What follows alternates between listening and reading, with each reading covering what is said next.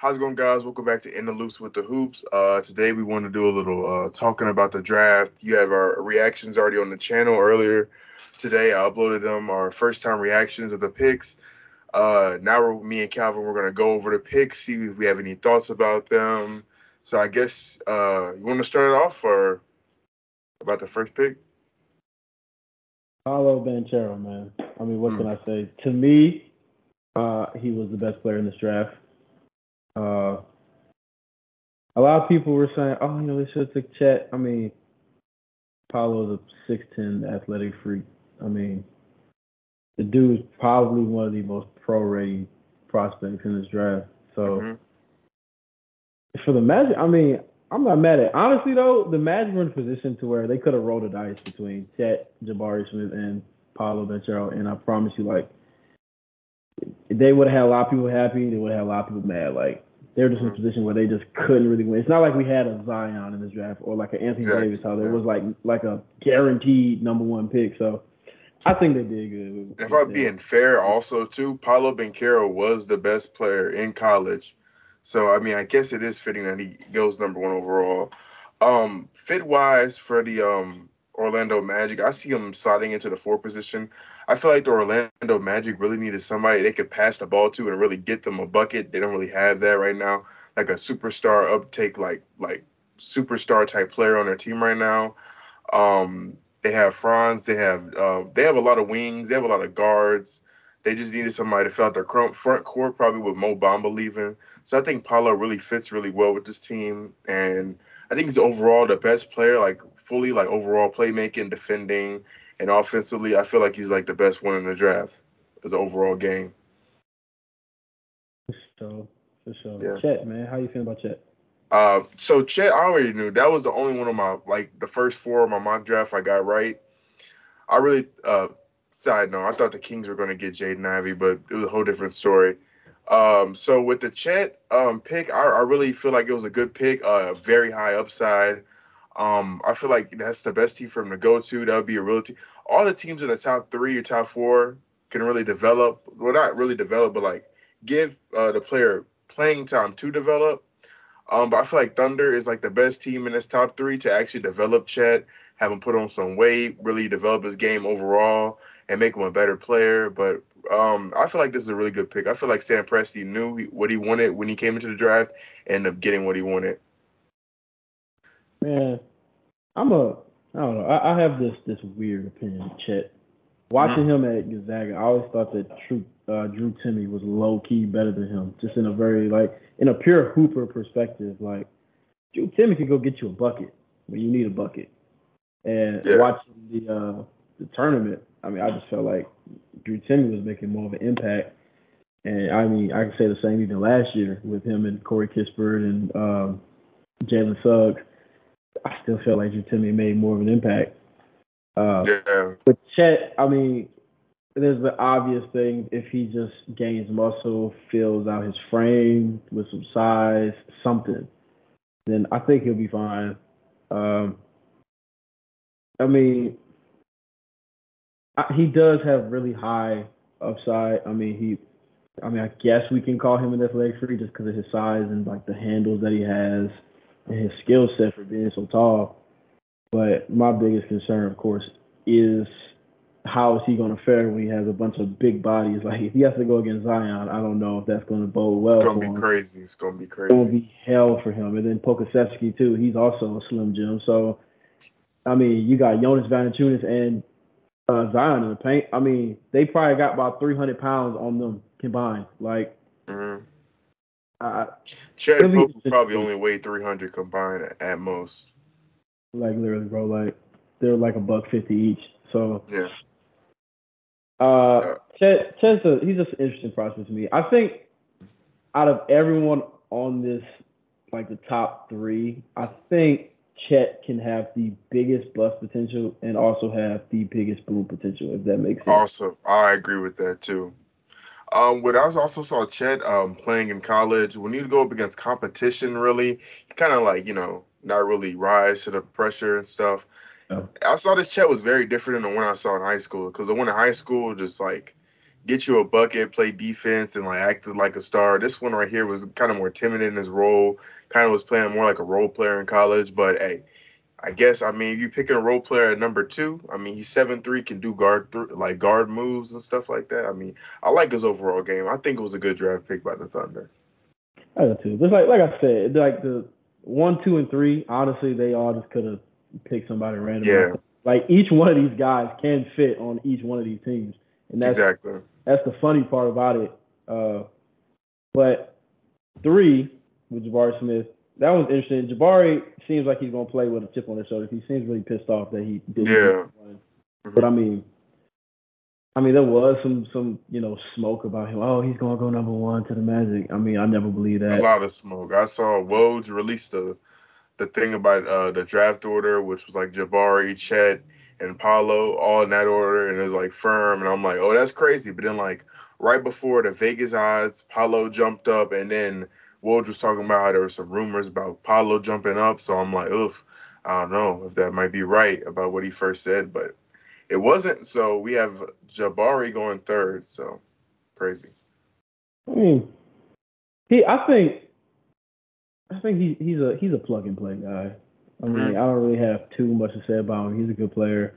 Definitely deserves to be top five for sure. Um, I think out of Paolo, Chet, and Jabari, I think he's the most you get what you you see what you get Yeah. type player. Like he he's maybe kind of like a Scottie Barnes in that perspective. Like Mhm. we know what he's gonna do, uh, because his skill set's so kind of refined already. And I'm not saying there's no room for improvement, but you know he you kind of know what you're gonna get with him. Mhm. Uh, but what we don't know is what we're gonna get out of Keegan Murray at four, because I mean, I I think the Kings as well as the um, the Knicks are the biggest losers of this draft. Yeah. And I really hope Keegan Murray makes me eat my words here, but I'm I have no problem with Keegan Murray. Me either. Me either. I just you have Jaden Ivey. Right And I feel like when you have a person like Jaden Ivey on the board, even though he didn't want to go to the Sacramento Kings, you should have traded the pick or at least traded down to get more assets. You can't just have a player like Jaden Ivey just slip right past your hands and not try to do anything with him. Because yes, you could have got Keegan Murray, but you could have let the Pistons like try try to trade up, like at least like try to tempt them or make them think that you're going to draft Jaden Ivey. Like they're just like, we're not even going to try to trade the pick. We're gonna we're just gonna get our guy. Which Keegan Murray, really good um player. Um, he he's kind of a your like your ideal role that you want. Like I mean, he's gonna jack of all trades kind of player. You know, not really the greatest at one single aspect of the game. But I mean, he's a really good pick. He's definitely a lottery pick. It's just he's not better than Jaden Ivey. Like his upside is crazy. And it's just the fact they let him go to the Pistons when there were so many trade options from the Knicks and and all these other teams who really wanted to go back into the or like go up into the top four because of Jaden Ivey, uh, they could have just did so much more than just drafting Keegan Murray, in my opinion. And you know that's that's the thing with the Kings, though. I mean, honestly, like just a little side note, I do think the Pistons and definitely OKC won this draft for sure. I mean, the things that they did, the the pieces they acquired, they didn't give up a lot. Both teams didn't give up a lot for No, people didn't. who can potentially be mega stars. I mean, um, okay, just a bunch of protected first picks, like 1st round protected picks, and that's from like teams like the Bucks though. Like the teams like the Bucks, they're they're not going to be in the lottery as long as Giannis is still playing basketball. They're not going to be in the lottery. No, they're not. And I mean, even even if like let's say they they were, I mean, we're talking what 2025, 2026. I mean, that's cool, but Yeah, the I mean, Knicks are that bad, pick. always I'm saying like they need to worry about now. The Knicks really shouldn't worry about 2025 or whatever pick they're trying to get because there was a lot of talent, like like for top 10, even top 15, a lot of talent that me and you said it last night on the stream that any one of these guys, like you could close your eyes and point to anyone who got picked in the top 15, and that guy would be an instant starter for the Knicks. Mhm. And they just decided, ah, well, we're just going to sit this out. And I mean, if you're going to trade back, at least get some assets worth something. I just feel like Mm-hmm. they didn't get anything worth noting. They could have at least got that 12th pick from the Thunder. Like Yeah, I get the trading the 11th. I thought they were at least going to get the 12th pick from the Thunder. That would have made sense, but no, they just went ahead and just didn't get any pick. And I'm really hating New York. And like just because the mere fact that they're just banking on the fact that they're a big market in free agency, and they're going to be like, well, we have a lot of cap space, so people are going to come here. If they miss out on Jalen Brunson and Kyrie, which they- I don't think they're getting Kyrie, but they missed out on Jalen Brunson. This whole draft, all these trades that he just did was a waste. Was I a- mean, it's it's a no little reason. insane that we're saying in 2022 that a team is banking completely on Jalen Brunson. exactly. They're gonna they're willing to pay him a a four year, 125 million dollar contract. Which Jalen Brunson is good, but I don't think he's That's just all that. asinine. Not for Jalen Brunson though. Like That's what I'm saying. And then if he just declines that, which I would decline that to be honest, it's a lot of money. But if he wants to win, he's in the best option right now with the moves that um Dallas made in this lottery, um, and uh the moves that they made before, getting Christian Wood, the moves they might make uh later. I think they're in a better position than the Knicks right now. And whole. I mean, you're gonna get paid, but Hell, they went to the playoffs. You know, they went exactly. the champions, and Yep. they didn't do all that bad. I mean, let's be honest with you. Yeah, At least Or- when you know or- when you're on the Dallas Mavericks, you're gonna go to the playoffs. Like you don't know what the, you don't know that with the Knicks. Like you might. I mean, you- might you're not. going to have 25 mil for you, Jalen Brunson, but then who else are you going to get? Because I'm not hearing Exactly. anything else coming from the Knicks camp or we want Jalen Brunson, we want Jalen Brunson. Well, what else are you going to do with that? You're going to have Jalen Brunson running with RJ, Cam Reddish, and Julius Randle, and maybe Mitch Robinson. I don't think Mitch That's what I'm saying. Mitchell Robinson's not coming back. They're probably gonna have to trade Julius Randle. I don't know if they really want him anymore. And RJ Barrett is probably they have to work on a contract extension for RJ Barrett, but there there needs to be some talk about RJ leaving. There's all this talk about Zion leaving, but if RJ don't get some if some if there's some if they're they don't fix anything in New York and like and put some things around RJ, hey, I feel like Toronto might snatch him up to be honest with you. Hometown from Canada, uh really good team. I feel like I feel like they'll be really good. I feel like he'll really like Toronto to be honest with you. I feel like he should go to Toronto. I don't think the Knicks are really putting anything around him, in my opinion. Now, I'm not saying that just because I'm a Knicks hater, because I am. But I mean, like, I just, I just don't see him as doing anything around RJ to make him want to stay. I mean, we have to be objective about the situation. I mean, the Knicks aren't doing anything. I mean, like, yeah, even if I'm the Pistons, right? I feel really good about the draft because hell, I had zero like scare or worry that the Kings were going to draft my guy. I was not threatened in any way, shape, or form. I can sit pretty at five, and then I can go ahead and make a trade to to obtain more pieces, like hmm which they did, and I love what they did, and like Pistons even with the. Thunder, even with the Thunder, I'm sitting pretty because oh, I gave up the 11th pick. Well, guess what? I got some Knicks picks, and I got uh, somebody who's I think probably has the most interesting upside in the entire league. But we can get to that when we get to him. And then not only that, you keep 12. You you get to have three picks in the lottery. I mean, that's insane. And you really could have and should have only had maybe two picks Mhm. uh, in the uh, in the lottery. If the Knicks just decided, okay, well, we know you because they they understand that they value Ousmane Dieng really high if they were going to trade uh, back in uh, to 11 to get him. So you need to up the ante a little bit, up the price a little bit. You know they're going to stretch their hand a little bit. You know Sam Presti got a whole lot of picks in his war chest. I'm sure he doesn't mind giving up an extra one. I'm sure Sam Presti was sitting on the phone like, oh, damn, we'll have to give up number 12. And then when they was like, oh, nah, you, can just take 11. Yeah, They're just they're like, oh, like, Jesus Christ, is that it? Sure, absolutely. Yes, we'll do that. yeah. I just don't see banking all your talents on a on free agency. Just something about free agency. It is so unpredictable. The Knicks are not the only person that can offer Jalen Brunson that contract. So I mean, I don't know why they're banking on the New York atmosphere to, to draw him in. I mean, I wouldn't get drawn in by the New York atmosphere. That's just my personal opinion.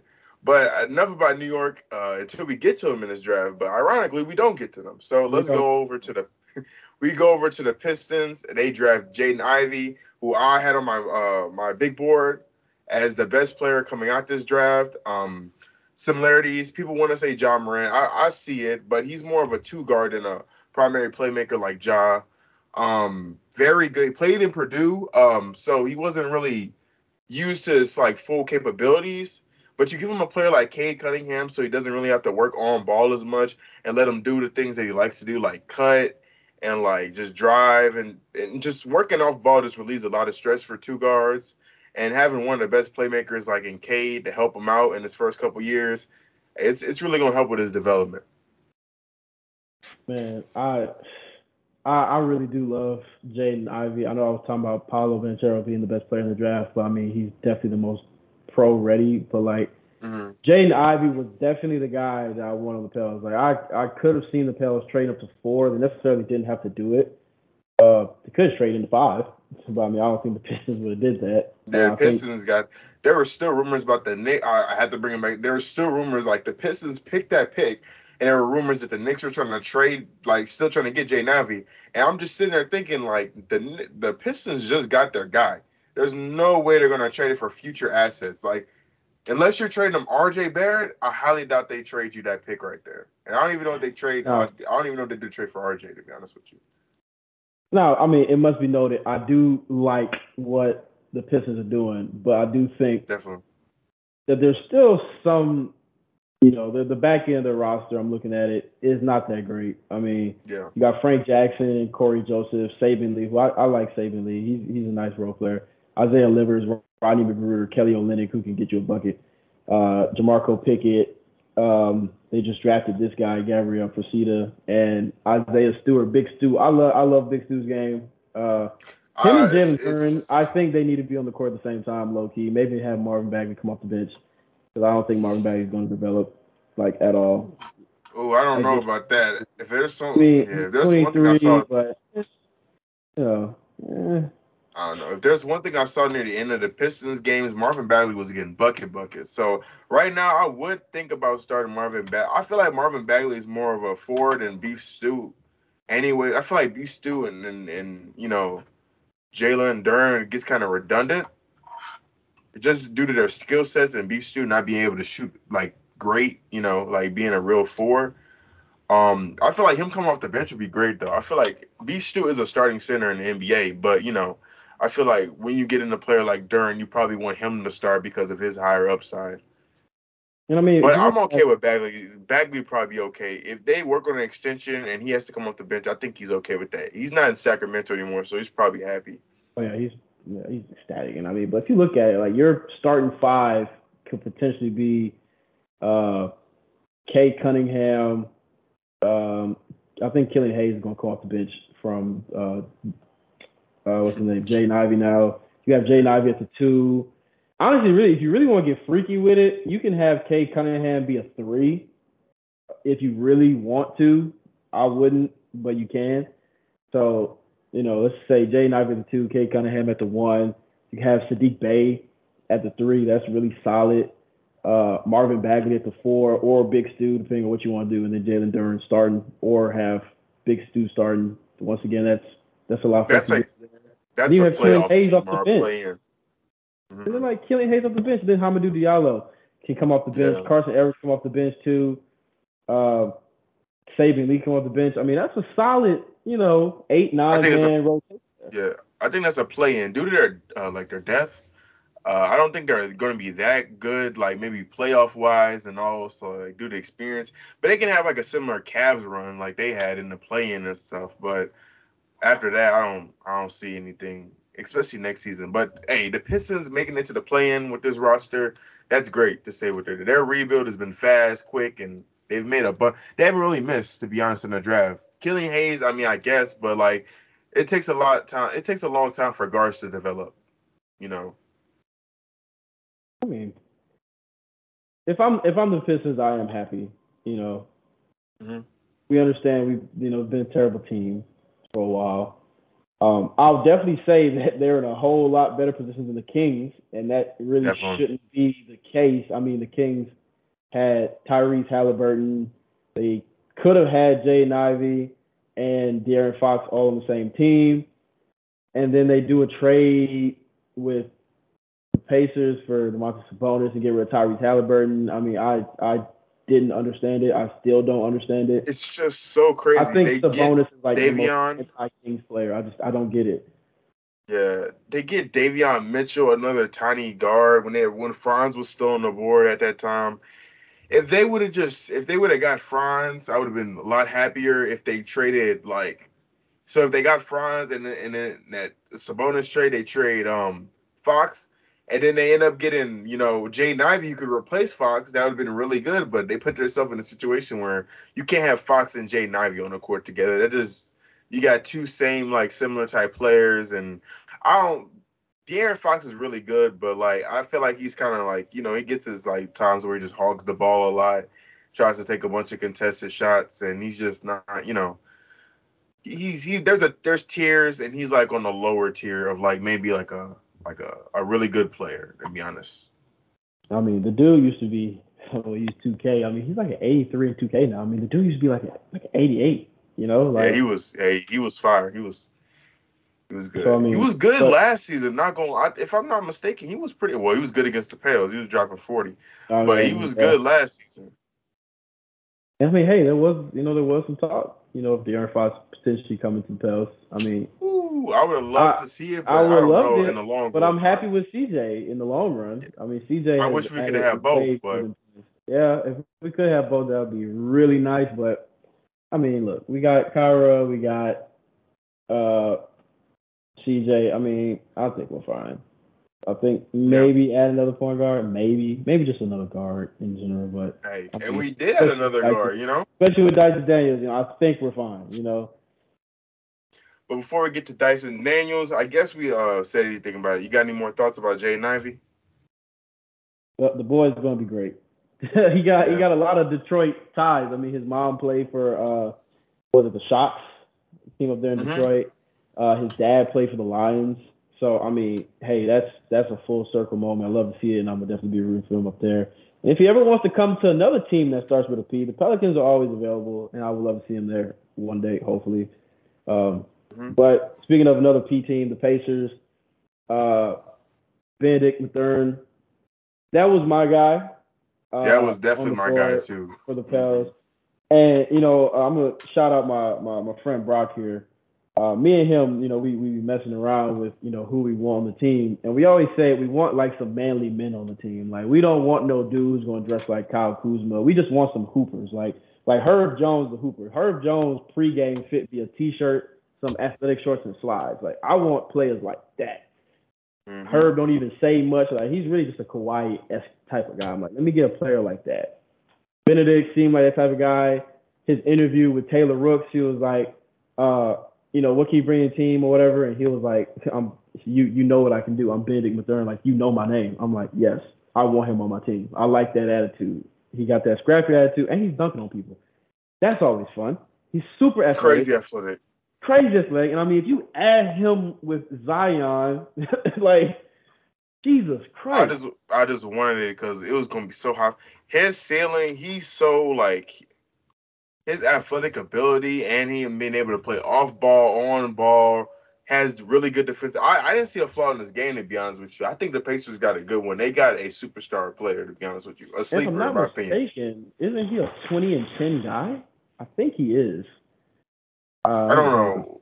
that. I don't know. Well, I Uh, don't know what he was exactly at Arizona. Uh, He was he was 17 and and five.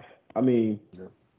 That's close And enough. that's good enough. and his shot was like people were talking about his shot not being the most efficient, but in his first year um, playing college basketball, uh, playing college basketball, he shot eighty five percent from like the free throw line with like five attempts. Like he was getting to the line and then making them. 41 percent from three his first year also. Yeah, exactly. So he was game. So I think it, it, you just got a little probably like a, a sophomore slump for his next college season, but like after You that, can't even really say that. I mean, he shot 45% from the field, 36% from three. I mean, that's still solid numbers. 76% from free throw. I mean, that's all fixable numbers. Like, that's fine. I'll take I'll take it, especially with his upside. I I had a video about him. I compared him a little bit to like you know, little like Latrell Sprewell, a little like bigger. I co- I compared him a little bit to like De'Aaron Fox and the fact that he was bigger not as fast, but better defensively. Just because of the way that they play, they play trying to get down transition. But as a shot creator, I feel like he's a he's a better shot creator and he makes more shots than De'Aaron. Because De'Aaron will take the shots, but he won't make them. But Bennedict Mathurin has a bag. He has a bag, and he can get in the bag. And once he's on, he's on. There's no way to stop. Real three level scorer. Who can also play some decent defense, which is really though. Like, I mean, I see. Like, I don't even want to talk about him. It's gonna make me mad because yeah. like that, that, that was really my guy there. Honestly, uh, really, he I, was. The, I was so the Pacers, the Pacers did good with that. Um, mm-hmm. I think they're also happy because they're also one of those teams that was kind of in that sweet spot to where it's like they knew how the first three were going to go, and then four and five they knew could potentially be two two players. Um, mm-hmm. maybe not Keegan Murray.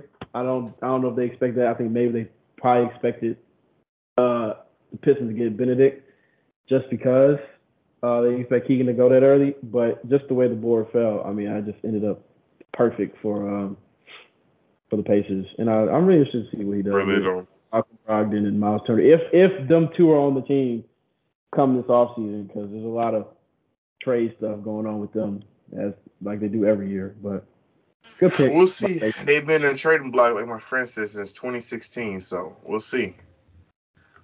Um, and on that we have the what is it? The Blazers selecting Shaedon Sharpe um from Kentucky. So with Shaedon Sharpe, uh, my thoughts is you pick a high upside pick, hope he pans out. I'm not sure this is a pick you want when you're trying to compete with Dame. I feel like this is a pick you trade or a pick you get a player kind of like a Keegan Murray or somebody who you like can fit next to Dame. This is might have this is where I could have seen Dyson Daniels being picked because of just the you know you know what you're getting in a like defensively and you need defense around you know like Dame and Anthony Simons, and like you know, um, he's a bigger guard and he can play the three. Shaedon Sharpe, you run out a lineup of um, Damian Lillard, Anthony, Shaedon Sharpe, Jerami Grant, Nurkic. You're getting cooked, to be honest with you. Those first three can't defend. I don't. Shaedon Sharp has the ability to defend. I don't know if he can. Nurkic been in the league for like 20 years, can't defend. Jerami Grant's the only guy on that team that can defend. And from I saw from that one Nugget series um, in the bubble, Jerami Grant can't do it all for you. So, I mean, overall, if he pans out how people think he's going to pan out, like just skill wise, shot creation wise, like he, he's going to be like a superstar. But if he just like starts off slow, I don't know how he really fits with like the Blazers trying to, you know, really compete in the playoffs. I feel like they should have traded the pick, in my opinion. That's how I feel. I feel like this is the part where the Knicks trade up to get a guy like the Shaedon Sharpe. But, you know, they didn't. You know, the, the Blazers are an interesting team to me because they're a team that will not commit to a full rebuild. Like, I feel like if they just would have committed to maybe a full rebuild like three years ago, I think they'll be in a lot better position today. And mm-hmm. I, I really I don't want to say it because I really do love Dame and I hope he wins something one day. But I, I just see them being a mediocre fringe eight seed team for the next like three years if they don't do anything else, do anything different. And I mean, if if that means you have to let go of Dame, then I mean, so be it. But it seems like Dame, as much as he says he's committed to be there, I mean, if you want to do a soft rebuild, quite honestly, I would have been talking to the Wizards. I would have been like, hey, like, mm-hmm. I got this pick, the seventh pick. Y'all got the tenth. I'm not going to ask you for your tenth pick. All I'm asking for is give me Bradley Beal. Bradley Beal and and and uh Damian Lillard. I mean, that's like a better, better, version of C. That's I think I CJ. yeah, respectfully, it is better than CJ McCollum. I t- I'll take that if I'm the Wizards, especially they throw in a player like Anthony Simons. I'm taking that. You get your guard, and then you get a top pick too, where you can draft a Shaedon Sharpe, and then if you keep, I don't know, you'd probably have to give a pick back. You probably have to give your other pick back to the Blazers. But if you somehow keep that pick too, that's crazy. Like there's just, there's a lot of things that I don't know. The Blazers drafting Shaedon Sharpe was definitely something that I, you know, I wasn't really looking at too much. I felt like honestly, they'll probably go like an AJ Griffin just for the shooting. And if they wanted to do like a soft rebuild, I mean, you got a guy who can sit there and kind of develop for a little bit. Um, but I'm happy they got him because we ended up getting Dyson Daniels. Dyson Daniels, this is my cue. You Finally, know, finally made it. the highlights, what you know. Everybody wants to wants to see. you know, this might be the longest portion. Um, all right, Dyson Daniels. All right, I'm gonna let you start off because you know I'm finna set up this. You know, these highlights in the background. You know, make it a little, little spiffy.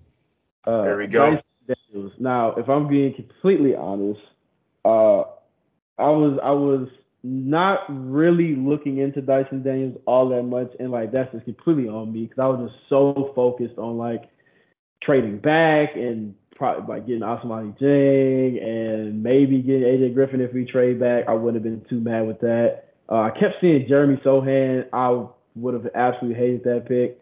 Um, Same. I kept seeing Shaedon Sharpe bidding third, obviously. So it's like Dyson Daniels was kind of on the outside looking in for me.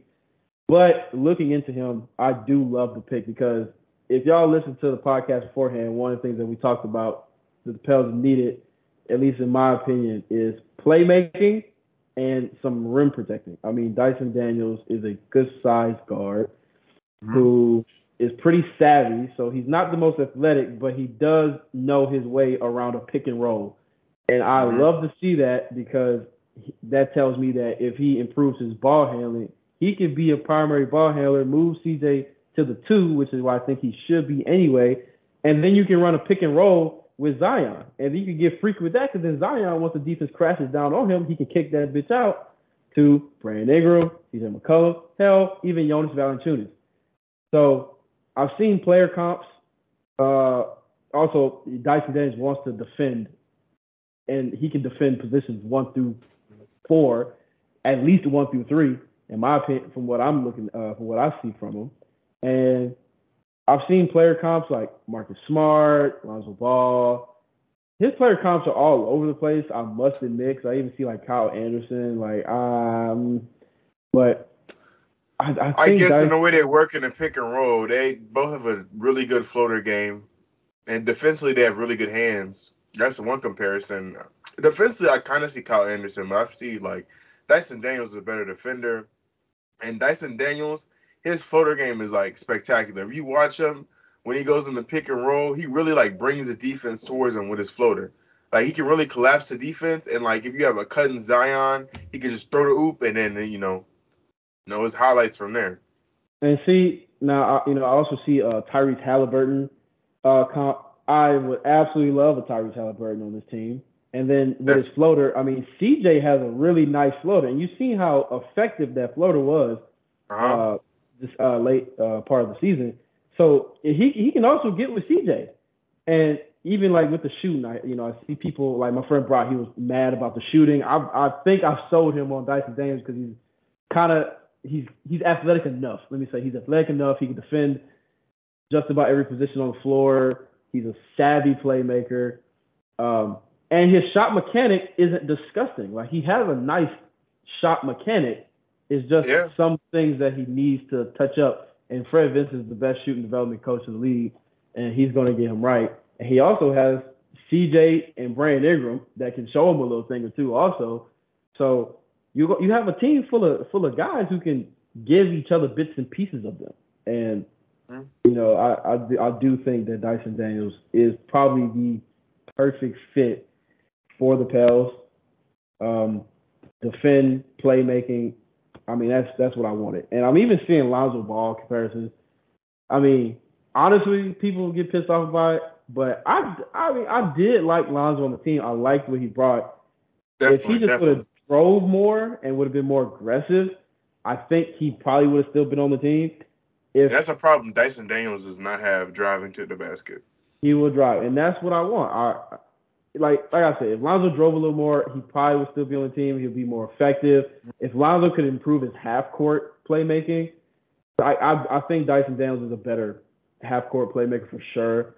Like Mhm. definitely a lot better in the pick and roll. Like he's just a better half court playmaker than Lonzo. because he has he he can shot create, And the thing is, the reason why Lonzo also I wasn't too high on paying him all the money that he was, is that he makes your offense predictable. When you have a person like Dyson Daniels, like with uh, his overall game compared with uh, a CJ, Zion, Brandon Ingram, Valanciunas, it, it just makes our offense very unpredictable. And not you can't like single out on one player what they can do because you guard Brandon Ingram because you're scared he might drop 30 without you even knowing. You leaving Zion open at the rim to go dunk.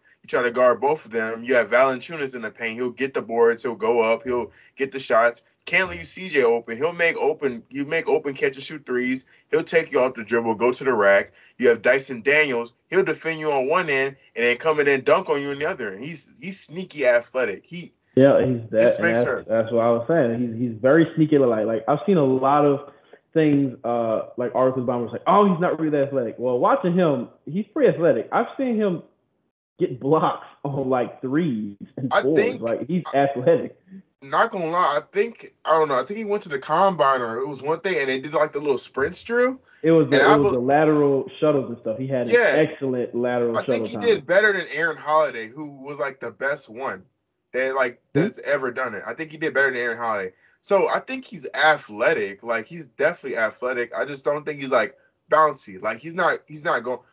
He probably has the vert that you need, but you know Westbrook only has like a 38 inch vert. That's not a lot compared to some people in the NBA. But he's really bouncy and twitchy. He'll go up there like he has a lot of athleticism where he can just go up and bounce. Dyson Daniels doesn't really have that. He plays slower than what he really is. But and that's what I like because here's a, a, a little thing for all the people who are basketball connoisseurs. They'll know what I'm talking about for sure.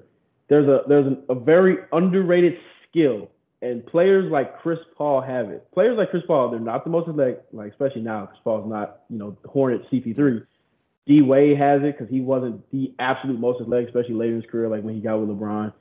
These type of guys know how to manipulate defenses by changing speeds, by changing uh, angles, angles and, and speed and stuff like that. It's real sneaky and deceptive, and it's so so so subtle, but it makes the largest difference.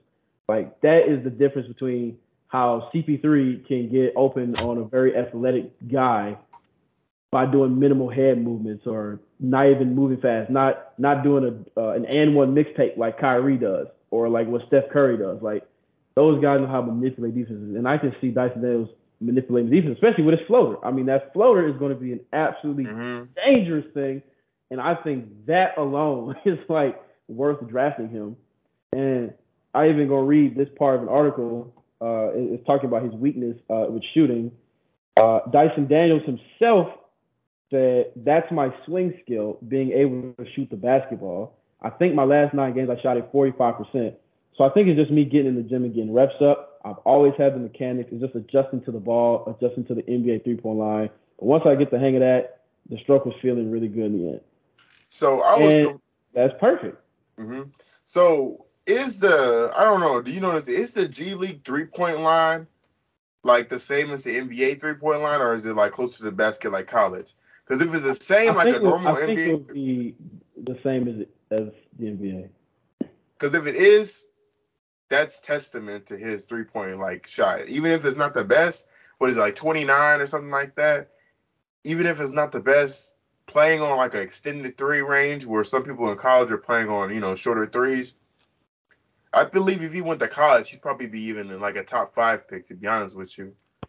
And I think you know, you just got to think about it, like he coming out of high school. You went from high school three point line to NBA three point line, it's a huge difference. It makes a difference. And then and coming then, from overseas, talking yeah. about adjusting to the ball, like mm-hmm.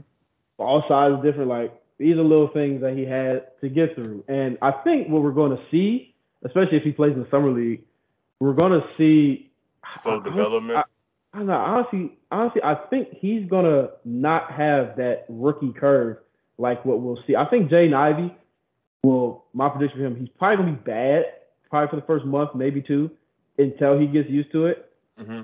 I don't think we're gonna see that with Dyson Daniels. I think Dyson Daniels is gonna just come straight out of here. I mean, we hey, we even seen it with Trey Murphy. Like we've seen him like mm-hmm. struggle until he got used to it late in the season. And yeah, that's the I one thing I like about G League Ignite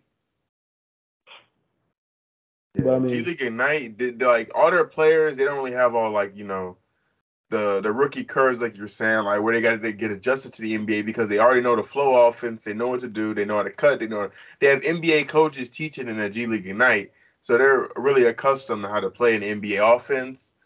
So I mean, that's that's one thing I also like about Dyson Daniels, him coming from, you know, a really good uh tenure development system.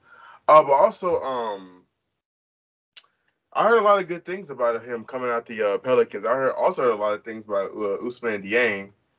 Um, but you know, can't have them all. Can't have them all. But I'm just happy we have Dyson Daniels right now. I mean, I'd rather have him. I'd rather have a you know a first round pick, unlike some teams. You know, I'd be grateful. Definitely grateful. Shout out to the Lakers. The Lakers really did us nice with this slow cooking, marinating pick. hmm Definitely a fan of that. Yeah, I can't even be mad at the Lakers because even the Lakers were smart enough to know they needed a pick this year. So Yeah.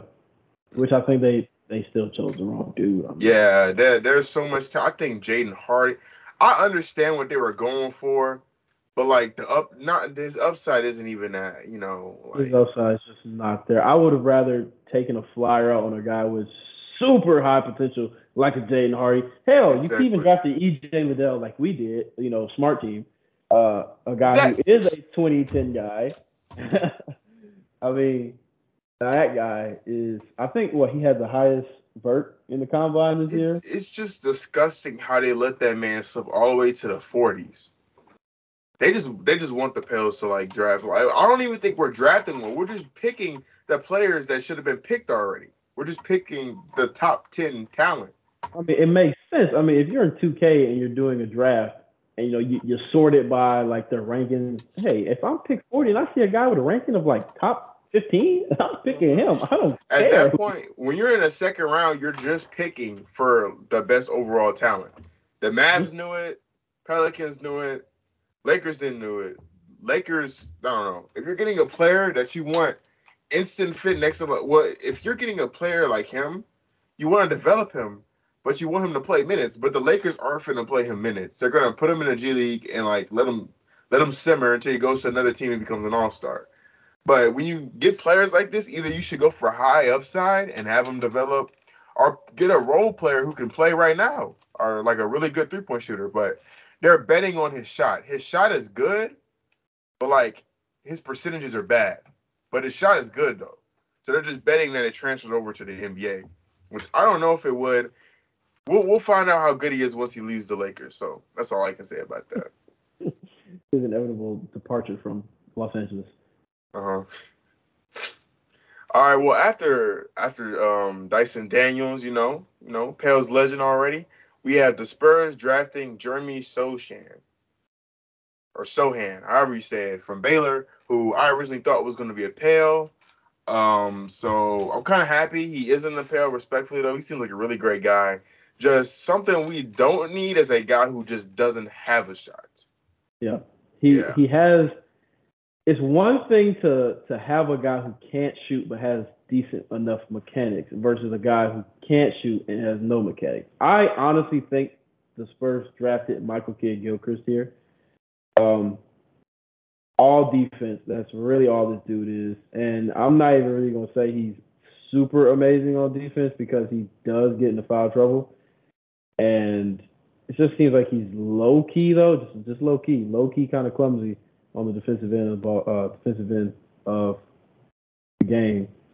Um, this is a very Gregg Popovich pick. It just is. Mhm. He's a guy who isn't flashy at all, uh, other than his hair color. Uh, he's a guy who loves defense. Every one of these Spurs picks in this draft has been guys who can play defense. And as we all know, everybody on the Spurs can play defense, or at least most of them can. So Mhm. he fits the bill of defense, defense, defense that Gregg Popovich loves to have. But I, I had a lot of concerns with him. His player comps being Ben Simmons, uh, Draymond Green. Quite honestly, I think if you're comparing Draymond Green at this point, that's an insult. Uh, I don't want Draymond Green anywhere near any of my teams. The dude is Yeah. better at making podcasts than basketball at this point. Um, he's not defensive player of the year 2015 Draymond. He's just not. He hasn't been for like three, four years now. And I don't um, even think Jeremy Sochan, Sochan is even as good playmaker as current day Draymond Green right now. To be honest, yeah, no, I, I don't either, and that's it's not even saying a lot because I don't even think that Draymond Green's playmaking now is as good as it once was. And even with Ben Simmons, Ben Simmons now, Ben Simmons is just a player who's never improved. I mean, let's just be honest. He's been in the league mm-hmm. and has not improved at all. He was just a really good pro ready guy who is good enough to give you 20, but that's all he's going to be. He's not, he's going to be that guy who's going to be borderline all star, maybe all star for the rest of his career, unless he decides to grow up and get a shot, which I don't think he yeah. wants to do. And as far Hopefully, as having Ben Simmons comp, I mean, I, just, I mean, I don't know if you want that. Yeah, I don't. I don't know if I want that because I don't even see it defensively, and yeah, I don't even see it defensively and offensively. As much as we talk bad about Ben Simmons offensively, I don't know. Before that Hawks playoffs, he was really he he he can drive. He'll go to the paint. He'll drive. Like he had no problem with going to the basket, being aggressive, unless until he got to the Hawks series. Then he just you know lost his aggressiveness. But the thing about Jeremy Sochan is that first off, he's not a good perimeter defender like Ben Simmons. Ben Simmons is like a really good perimeter defender. What probably like all NBA defense, all DPO defensive player of the year type, you know, perimeter defender. Interior defender, pretty decent too. But Jeremy, I don't see him like as good as Ben Simmons on as defensively. I also don't see him like as like energetic on the offensive side of the ball as Ben Simmons, you know, before the Atlanta Hawks series. Just saying a lot. I mean, That's what I'm saying. I don't see like on offense when I watch him play, he's very passive. And I know he wasn't really used as the number one option because they had what Kendall Brown on their team but still, I'd love to see him like you know try more on offense. I just feel like he doesn't try as much defensively. Just because they're not as good as Ben Simmons doesn't mean anything. Because Ben Simmons is like one of the best defenders in the NBA when he plays. He'll he's definitely a great defender, but he's just not as good as Ben Simmons. Not as athletic, not as long. Um, and then aggressively, I, I feel like the Ben Simmons comp, I mm, I don't really get it, especially playmaking wise, because Ben Simmons is a good playmaker. I feel like there's, there's, they're throwing that out because people see Ben Simmons right now as you know a guy who can't. All they see him as a guy who can't shoot, defend, and um, can do a little bit of playmaking. If you think that about Ben Simmons, then yeah, he's just like Jeremy Sochan. But if you really look into Ben Simmons, Ben Simmons is much more of a complete player than Jeremy Sochan. This is more of a we're gonna try to develop him.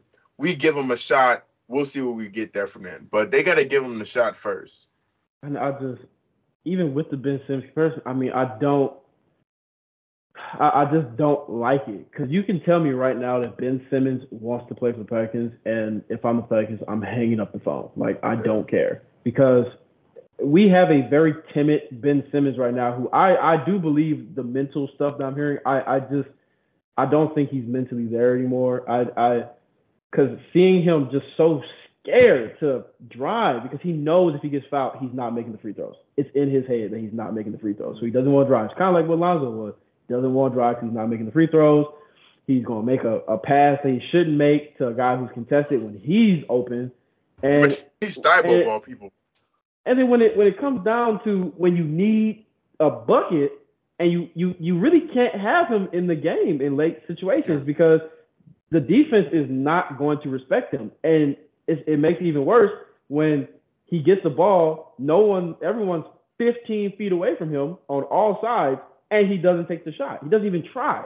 I mean, hell, if I'm in the NBA, I don't care if I'm shooting two percent. If you're giving me that much space, I'm gonna take that damn shot mm-hmm. because there's a chance that it might go in. I mean, I'm an NBA player after all, and a guard open, that open too. That open, like I'm going to at least take it, and he's just not doing it. He's mm-hmm. such a non-existent factor on offense now. I don't. I think that's where they mean. I think they mean like a now type of Ben Simmons. Yeah. And we're not, and even with back uh, his back injury, I don't we might not ever see all NBA type defense from Ben Simmons on the perimeter defense anymore. And there's also another thing that I saw with Jeremy that concerned me because they were talking about he can he has the potential to excel as an excellent two way player, and they were calling Ben Simmons and Draymond Green two way players, and that's just completely wrong. Because mm. to be a two way player, you have to have an offensive, offensive game, yeah, and none of them do. You can't Draymond for a Jeremy's going to be a two way player, and he just can't score. That's just not happening. I don't see it. Yeah, I really don't see it scoring wise. Defensively, I see it, but if if if there's one team to do it, I'd say the Spurs could do it. If they if there's one team that can give this man a shot, the Spurs could.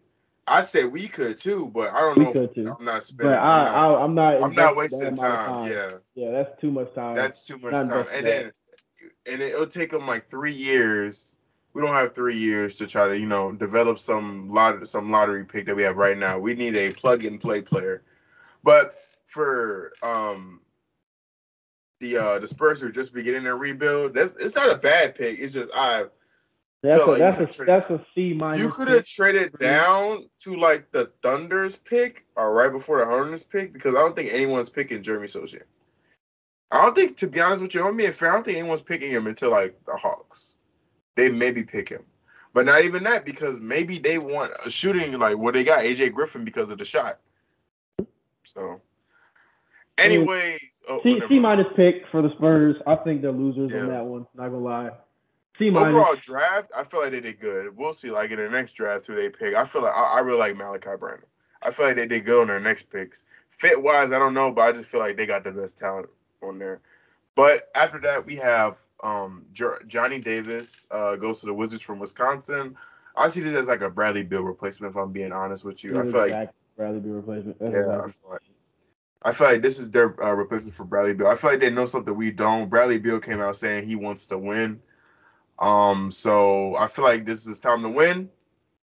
They got their uh, two guard for the future, Johnny Davis. He can, he's a scorer, and he makes really bomb commercials with a uh, chalupa in his hand. So at least we know he's um advertiser friendly. So I mean, I really like this pick for them. If they're really gonna get rid of Bradley Beal, I mean, they get one of the best scorers in the draft. So that's all. I mean, I really, I can't really break down Johnny Davis's game. I haven't watched too. I mean, he's. Yeah, a, I, I I've have- watched some I of his game. I have haven't much to say watched too too much of it though. Yeah, I just know he's really he's a good scorer. Definitely pick wise. I feel like they got who they wanted at that part. Um, I guess is I guess that's everything we got to say about Johnny Davis. Um, good pick. I rated rate a, a, an A. Uh, we got the Knicks drafting Ousmane F. Dieng. They get an F. F. F for the Knicks. Drafting Ousmane. Let, let, let me start. Drafting Ousmane Dieng. I already give that an A plus. Then trading him for OKC F. for a future pick, and not even getting the next pick, the second pick. So I guess we'll just go ahead and talk about the OKC, and because we already bashed the Knicks earlier, I really don't want to talk about this poverty franchise. It's, it's crazy. No, sorry to Knicks fans, but it, it's it's it's it's sad. So let's just talk about OKC. They get Ousmane Dieng and they get Jalen Williams, who two players I think have one of the highest upsides in the lottery. Ousmane Dieng, you see a 6'10 forward, be able to handle the ball. In certain aspects, I see him like a, I saw him better than Dyson Daniels, not playmaking and defensively, but like him able to get his own shot. I've seen players comparisons. I know we both seen player comparisons of Paul George. Had me kind of hyped because I'm like, ooh, Pelicans are really excited for his workout. I'm like, oh, okay, we might get him. And I'm like, we didn't, and I'm like, well, at least I'm glad he's going to a team like OKC, which does have a lot of players, especially um, in the front court now and in their back court. So I don't know how the minutes are going to be rearranged, but they do have a G League team, so they're going to get minutes somewhere. And if I can go ahead and touch on Jalen Williams, um, man, I feel like he's going to be that one guy that we look at and we're going to be like, dang, why was he not drafted in the top three? I feel like Jalen Williams has that kind of upside. I feel like he has look he being able to abuse the pick and roll like he does. Harden. It, Baby Harden. that's exactly what I'm saying. He really reminds me of James Harden. And I think James Harden was drafted around this area. I think it was maybe eight or like 13 something. It was something around that area. I know it was lottery. But he reminds me a lot of James Harden. But uh yeah, that's all I got for that. Uh, I think as far as I think you you did good on the on uh, Williams there. Um, I I ain't gonna say too much because I think he's the same. Baby Harden is enough for that. Um, Exactly. As far I as see the upside. Yang, I think if there was any player in the draft who will have a Giannis type career arc, it would be James. It just will. Um, dang, I, I I really I really did want us to draft him. Uh, I don't really know how he would fit here. But I, Me either. I think he could replace Willie. I mean, Willie's here for vibes though. But I mean, he he played he played a lot of forward. I mean, it's not out of blue for him to say, you know what, we keep CJ at the point guard and we run him at the two. We have a really tall lineup, but you know, it I think he's a, he's really good for freaky lineups. He he is, and I mean, like I said, I think he could potentially end up like a Giannis type guy because Giannis was a, Giannis wasn't that big when, he, Yeah. when he got drafted. And what Giannis was looked at as what thirteenth? uh huh around that area. Like he, I, I think we, we might be looking back and looking at potentially like a like a KD, Giannis type, whatever, Mhm. like just a, a superstar. A really I- I tall he guy who can get to the shot. You can't go wrong with really tall guys who can like really shot crate. You know, you don't get a Paul George every you know every day. Those players are really rare. Fluid. So damn Mhm. smooth. He's buttery to watch. Like Mhm. When you watch him, that's crazy. That's one thing about Paul George. He's a he's a whole six nine, maybe six ten, and he has like some of the best handles in the NBA. If not, he, he's top five handles in the NBA right now. that's really crazy to think about. And I mean, another guy that I think is going to be really good, uh, Jalen Duren. Uh, traded to Detroit. Uh, if I was the Hornets, I mean, it's like what you said last night. I mean, drafting Mark Williams. I mean, I'm also touching him a little bit. He adds a center. He's a center who plays defense, and that's that's basically what the Hornets need. I don't I guess, say much yeah. about that. He's what they needed. So good job for the Hornets. very Uh, Jalen base though-. I would prefer. Ooh, I definitely.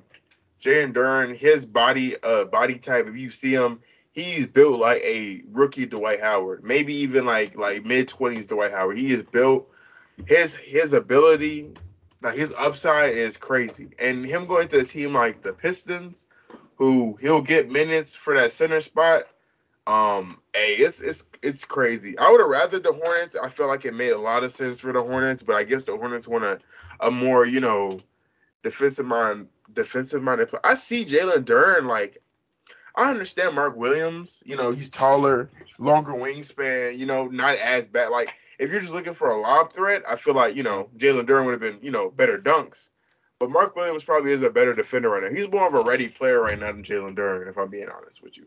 But Yeah, Jalen Duren's think upside is crazy. I mean, they're. I I mean, Lamelo would probably be better with Jalen Duren, but I I mean I think they just want a guy who's not going to get in the way of Lamelo too much for um, his offensive game. Well, I mean, I'm I'm on the side. There's no such thing as having too much offense. It just isn't. Like I I don't think Jalen Duren takes the ball out of people's hands too much. Mark Williams definitely not. I feel like Mark Williams Mark Williams isn't a bad pick.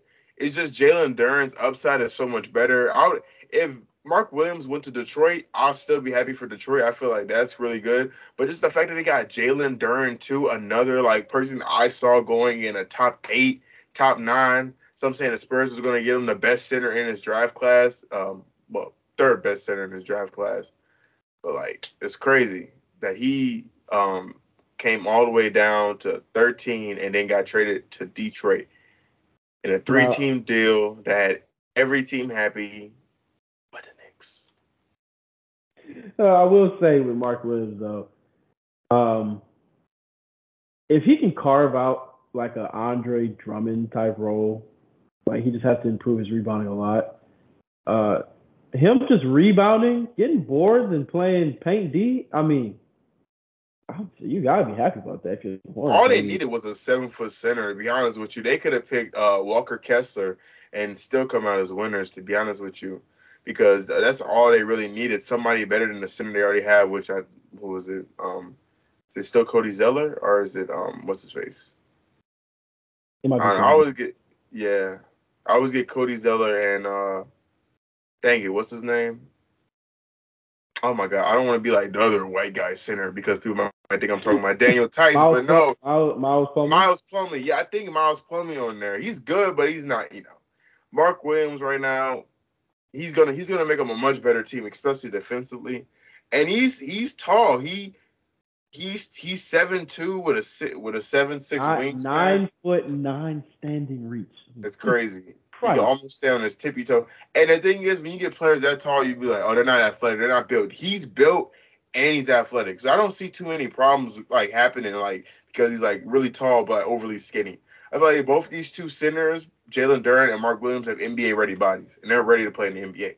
They could take a shoulder thing to Zion and only get pushed back, you know, five meters instead of Chet who's going to get pushed back into you know California. So it's going to be crazy. Now moving on to Ochai Agbaji. I think I said that right, somewhat. Uh, yeah, it sounds good to me. Uh, I ain't gonna go too much into it. I mean, he's the prototypical guy. I mean, he has good physicals. He's a really good spot up shooter. I mean, that's cool. Cavs. Just Cavs. I mean, mm-hmm. I'm I'm fine with it. Uh, I probably if I was Cavs, Loki probably would have went Tari Eason, but yeah, I'd, to be honest, if you're you. looking for scoring, at least I mean, they're looking for higher upside. See it. Ochai Agbaji, I think, has the best floor in the league in the draft right now. I feel like he's gonna go on the Cavs and be like a ready player. Like he's gonna probably be the same thing he was in college, but I feel like his ceiling is not gonna be that much higher. He'll probably get better for three more seasons and probably cap cap out as like maybe a better Cameron Payne, to be honest with you. No, I mean I'm gonna hurry up and jump to, to the Rockets here for Tari Eason. Tari Eason, I can see his career going one of two ways, and it's all going to be dependent on if he gets the playing time. And I, I think honestly, you would probably have to think about trading KPJ just because KPJ is a very ISO heavy guy. All dominant. I feel like that's why they got their next guy. Um, what was it? Um, guard. Oh my gosh! I have after that, you know, like four hour long stream. I'm I'm cooked. I'm literally cooked. They got mm-hmm. what's his face? What's his face? Ty Ty Washington. They have Ty Ty Washington. I feel like that's probably their backup for KPJ, which I love KPJ as a player, but he's just not a point guard to be. He's just not really a point guard. He's not the guy who, if you draft Tyrese, and like I said, if I'm gonna say this, if if Tari Eason gets the playing time and he gets his the correct system, I think he's gonna have a really great career mm-hmm. and gonna be probably one of the best scorers in the league. Uh, he can easily get himself uh, a Duncan Robinson type contract, just low key, low key. Uh, or I can see him going the Cam Reddish career route. A guy who has so much offensive potential, but the team just doesn't give him the chance and doesn't uh, uh, allow him to develop. And then he's he's just going to be stagnant for his first his very pivotal like first three years of his career. I mean, those first three years of your career can in fact shape the rest of your career. I mean, if you're stagnant in one place and then you get traded somewhere else, and they don't play you. I mean, you're you're probably at that point gonna just be a role player. Like that's just being honest. And I think Tari Eason has the potential to be more than a role player. Yeah, and you know, I think like with Cam Reddish, it's unfortunate that's happening to him. Uh, I really don't know a team that he can really go to that's like really gonna play him like that. Probably just a rebuilding team. I don't know. I think he can Cam play. Reddish?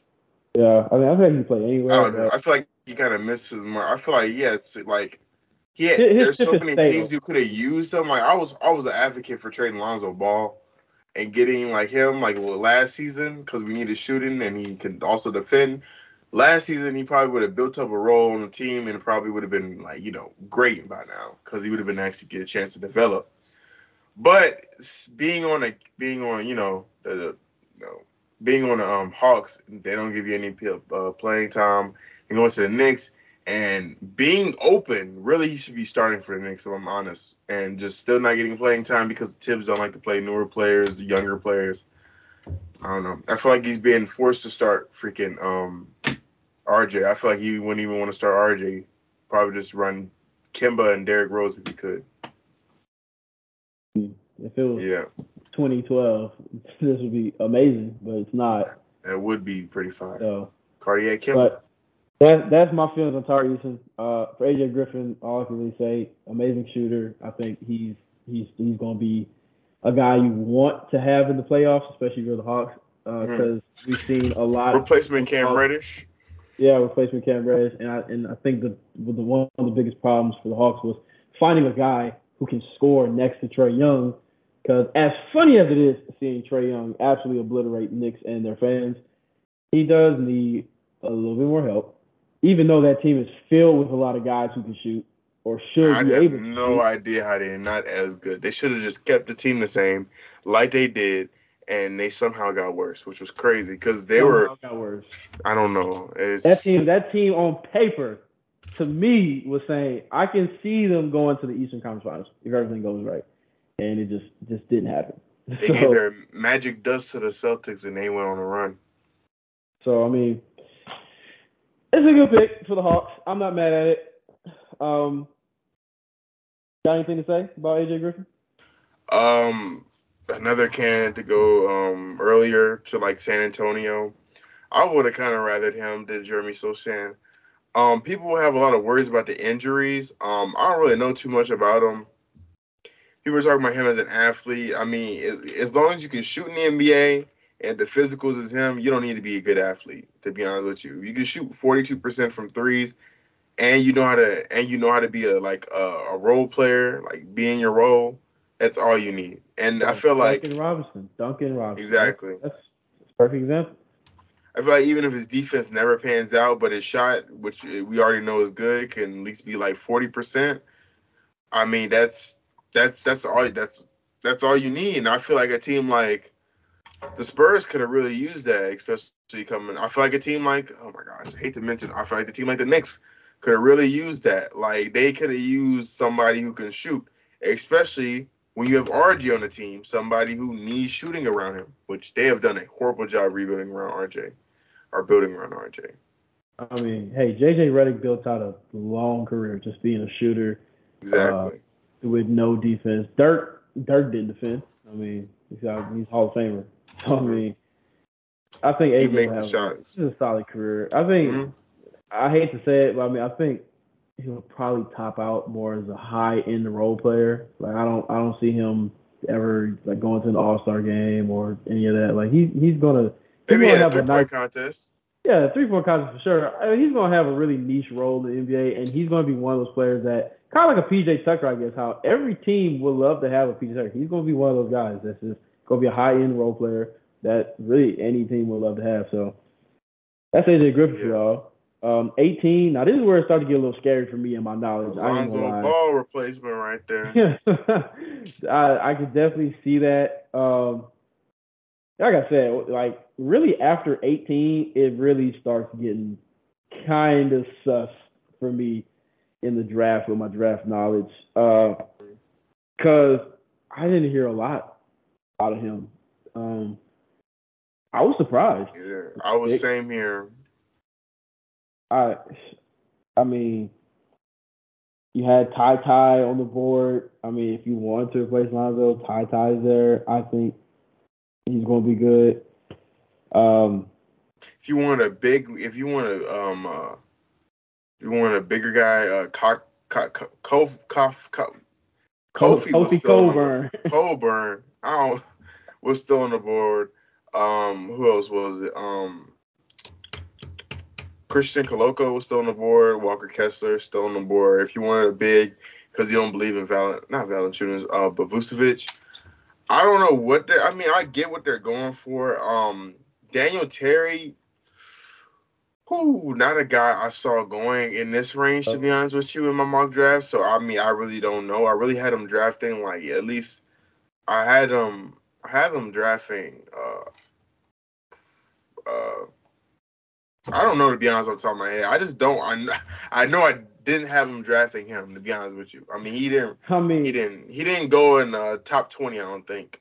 I mean I'm looking at uh, NBA's prospect list for him. And it seems like the scouts for the NBA don't know either because they said a big versatile guard who may not score prolifically but competes enthusiastically on both ends and otherwise checks a lot of boxes with impressive versatility. Just seems like he's just a guy who who might be just good at everything, but he won't be a master or anything. Like I mean, just, I mean, if that's what you're getting a backup, But I just feel like they have so many guards. They have Coby White. They have um uh AU uh IU Desam Ayo Dosunmu. yeah yeah who's really good.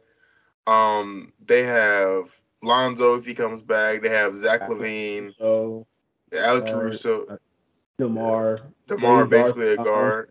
Exactly. Man, Vucevic really plays like a guard too because that man is so So I'm like, I really don't know. I really don't. Uh, this is time for that Coby trade we've been waiting for because I don't see where he fits.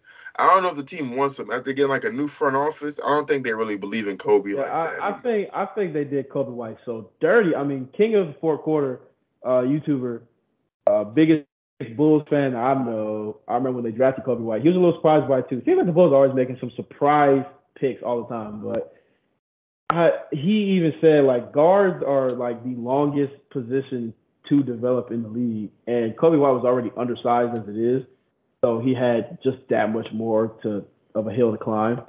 And I just really think they just gave up on my boy. He was playing in the G League for a little season. Like they, I just He's they gonna really- have a window Carter. They go ahead and send him to Orlando. Have like the little bull boys or something like that, and they gonna see what they did wrong because they gave up on Wendell Carter too soon. Man's like prime Al Horford right now. Wendell Carter's just so good.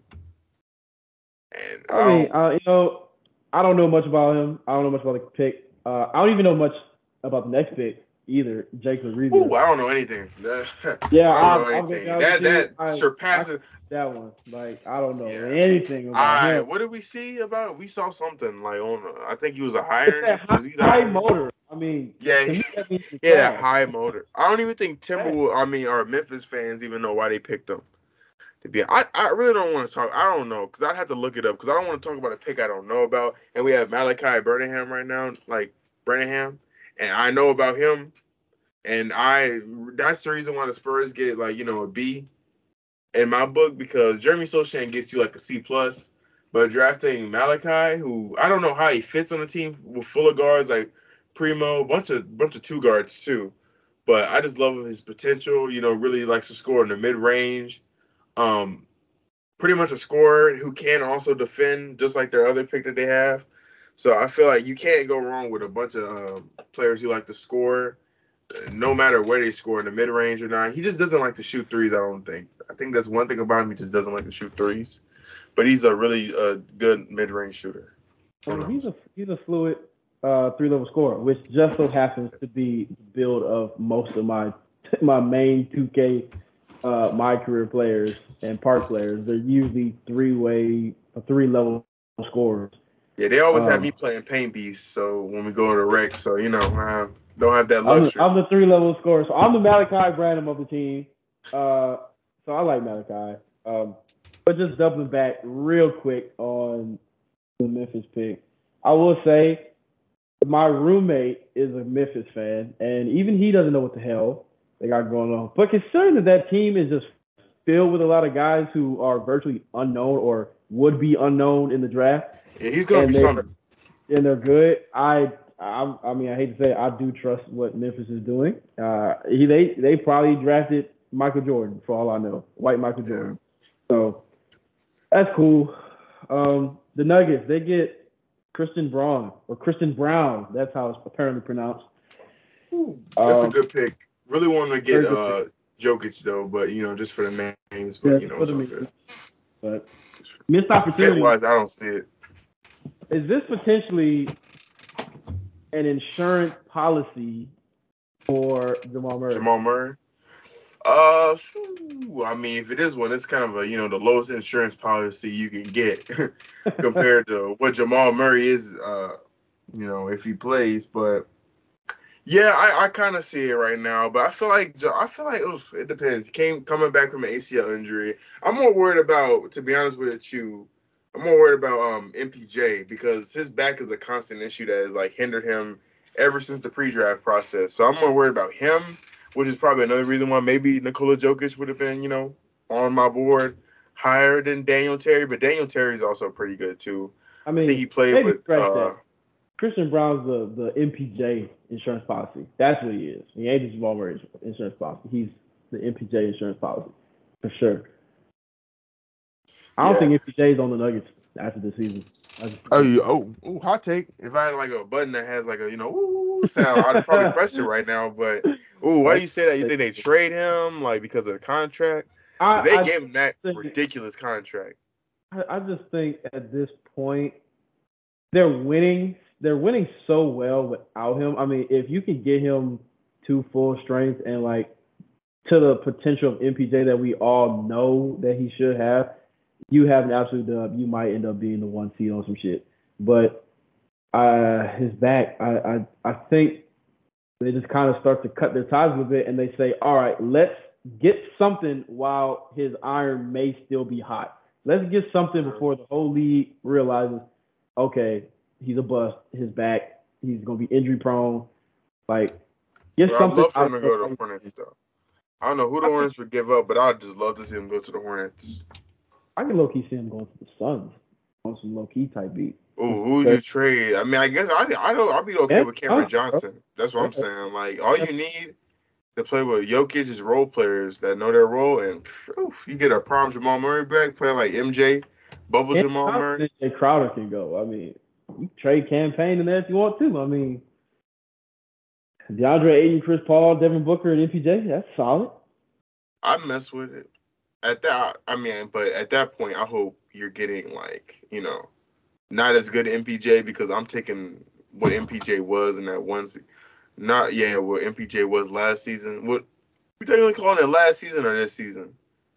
I'm confused Uh, because I'm calling last season the uh, the 2020-21 season, the one where uh, everybody was healthy into the end, and they were looking crazy when they got Aaron Gordon. I, if they keep that team, if they kept that team intact, they they were a crazy squad. They were crazy.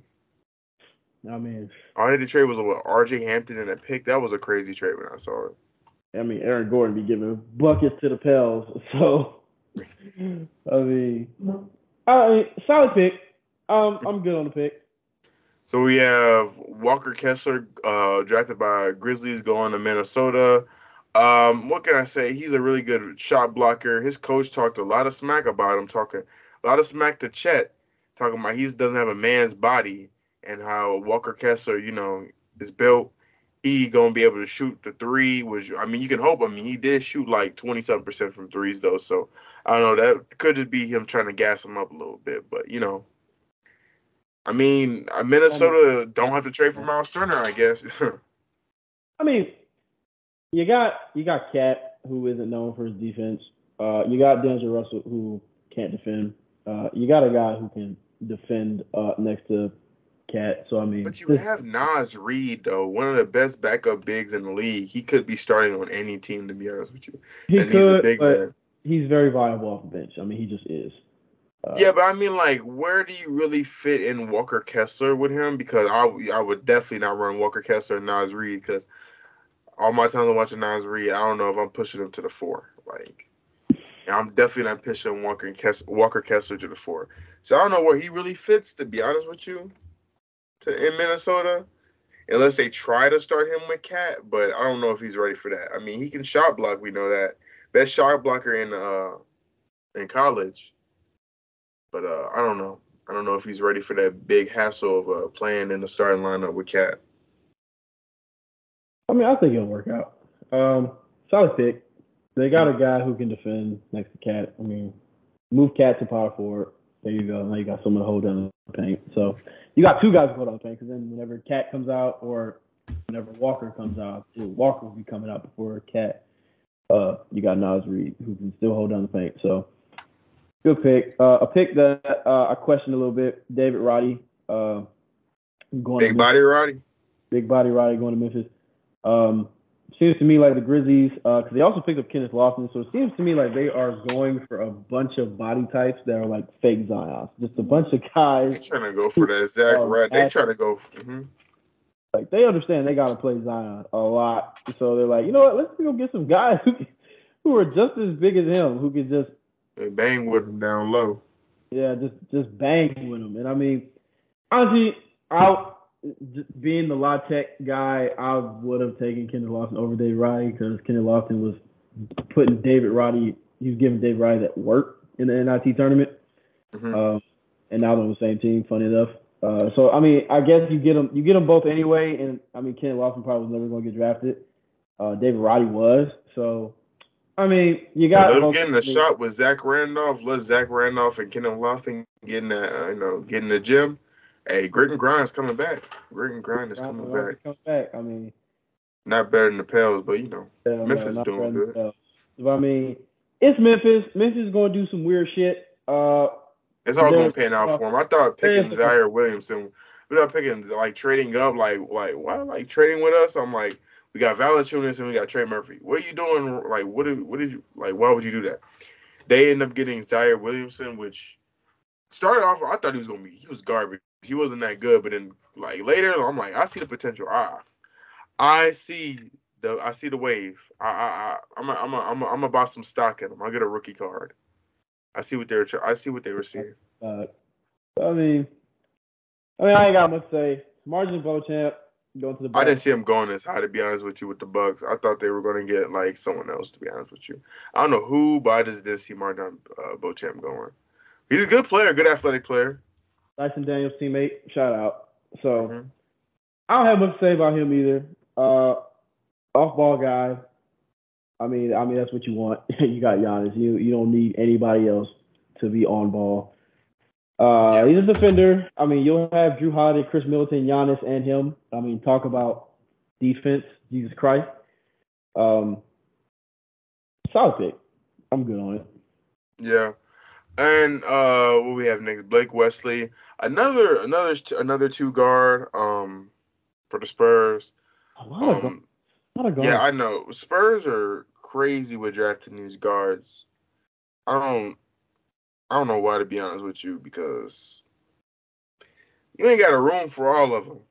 You know.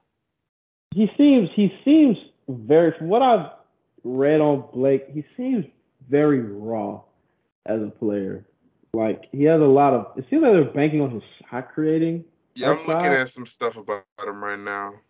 But I I really he's probably a guy who's who's going to the G League or probably going to get cut. If I'm being honest, uh, I don't mean to say it like that because I want everybody in this draft to succeed to an extent, but I I I don't really understand it. Quite honestly, who's the Spurs center? I can't remember his name. Jakob Poeltl. Yeah, I mean, maybe I go get another center. Being honest, um, Jakob Poeltl's solid. He just doesn't fit the timeline as well. Yeah, like I, you could get some good pieces for Jakob Poeltl. can go to a team that's trying to win now, and you can get some nice assets. So I mean, send I, him to the send him to the Raptors and get back like um, what's his face, um. Oh my gosh, play for plays for Toronto. Well, no, play for the Heat. Oh my gosh, six eight. Oh my gosh, I can't remember. Justice Winslow? No, played for the Giannovi? Heat. No, he played for the Heat, the center, played for the Heat, and then went. They uh, traded him in that deal to uh, to get um to get uh the guard. Oh my god, I see. I forgot his name too. Dang. Yeah, but you know, oh, I'm gonna look it up. I can't. Up Precious Achiuwa, Precious. I they okay, Precious Achiuwa. You trade for Precious Achiuwa. I think you can do some good with him. I don't know if the if the Raptors want to do it. They, I don't know if the Raptors want to do it, but they they they might have a center. They might believe him, but you can't go wrong getting a bunch of centers, especially if you're the Raptors. See which um, one pans out.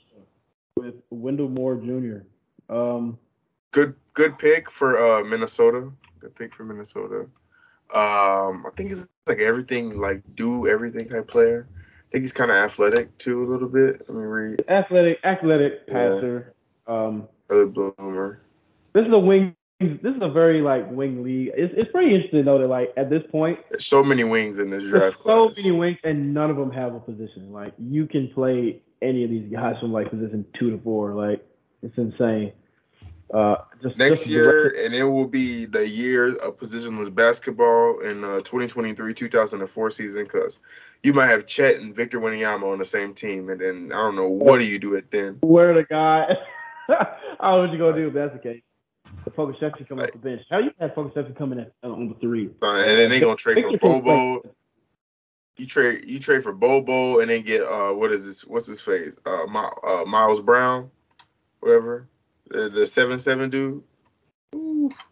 Just go ahead and bring Tacko Fall in there while you at it, man. Run a run a big ball lineup. Like you just Everybody's seven feet tall. you stop the offense with just getting in like a, a circle, and then they just can't even see each other anymore. That's what you do. That's what would But. Probably pick. yeah, I'm but honestly, yeah, I like the pick. He pick. That's for the memes. That's why I don't, I don't, I don't get it, but I like it. What I mean? Uh, they're gonna give him the two percent body fat, and he's gonna be looking chiseled, and he's gonna be Giannis Antetokounmpo. That's my hot take. He's going to be Nikola Jokic. Just Yeah, not copy. So yeah. uh, I'm definitely cool with that. I also don't understand it, but I guess you want another power forward to play with Bam or have move Bam to the four and then have him play center. I mean, whatever. Um, Mm, it is what it is. I'm cool with that. The Warriors, Patrick Baldwin Jr. That one confused me just a That's little a bit. high upside one. If he Very pans- high he upside. Yeah, but if he Considering pans out as a Forrest six Hill, nine shooter, I'd play him at the center. To be honest with you, I don't know if he ever did it before in his tenure at playing in Milwaukee with his dad, but uh, I'd play him at the center. I would play him at the center. honestly, the Warriors are really good at developing. Like they're probably one of the best teams in the league Really at developing. I mean, if there's any team that a guy as raw or a guy with as much upside as Patrick Baldwin should go, it would be the Warriors. And I mean, Yeah. you just hate to see it if you're the rest of the league because they just won a damn championship, and now they potentially have a guy who could be an All Star. Yeah, let's. I hope. I hope he pans out, but also don't hope he pans out because if you give them that, and then you give them Wiseman, if he comes back and becomes something, just nothing but versatility. Honest with you, but I let. I think we got one of the biggest drops I've seen. We got Ty Ty dropping all the way to twenty nine and getting traded to the Houston Rockets. Just they did my man Ty Ty dirty. KPJ replacement should have went Probably better replacement. low key top twenty at least. Uh, To be honest with you, hold up. What's the other player on Houston? Or on Houston on the, on the Rockets? a guard. Yeah, there's that one that they drafted uh last season. Oh my gosh, I can't spell. Where it is roster. You got Jalen Green. Yeah, you can you can continue. I'm just trying to see. I, I'd rather him start to be on. Josh Christopher right there. He was good when he played. From what I remember, Josh Christopher. And he has chemistry with Jalen Green because they played. He just he's just I think they gotta trade KPJ. and They gotta they just gotta I don't K- He just- KPJ kind of kind of low. I mean, he's young too, but he low key was having beef with the coach. Like when yeah, playing. He's. It was- I mean, he he is what he is. Send him to the Kings. That's what I say. Whatever. He just want his Uh, career to die like that. Okay. Oh man, I love KPJ, man. I, I want him on my Pels, but we're at this point we don't need him anymore. I know the Kings he would be maybe really good too off like uh, off of uh De'Aaron maybe. I don't know if he he should definitely start over um whoever they got right now because they traded for him, the dude off the Bucks. But he's a weird player too. I mean, he's. Oh, Ty Ty Washington though, definitely should have went higher. definitely, I really I don't understand why he didn't go higher. I'm very pleased with it. Um, the Peyton Watson pick, that's a pretty decent pick too. Uh, at this point, you know, you pick 30, you're you're just trying to get some good value out of guys. Um, he he doesn't really have an offensive game though, from what I've seen, like at all. Peyton. Watson. Yeah. Oh yeah, I think he's like yeah So yeah. I mean, it's pick 30. If you're the You can't really go wrong with that. Like, if you're Denver, I mean, Six, eight, worst come to worst, you have a guy who can you can throw in there and play some defense. I mean, sure. I don't think we have to go through all these second round picks. Um, any big ones that we want to talk about? You know, Uh, Jalen Williams. Lakers Jake make a Hardy. bust move. Kennedy Chandler, EJ Liddell. Um, Whew. those are the guys that, that I definitely want to talk about. Everybody Mhm. else, without Max Christie, of course, just because the Lakers suck. And I don't know.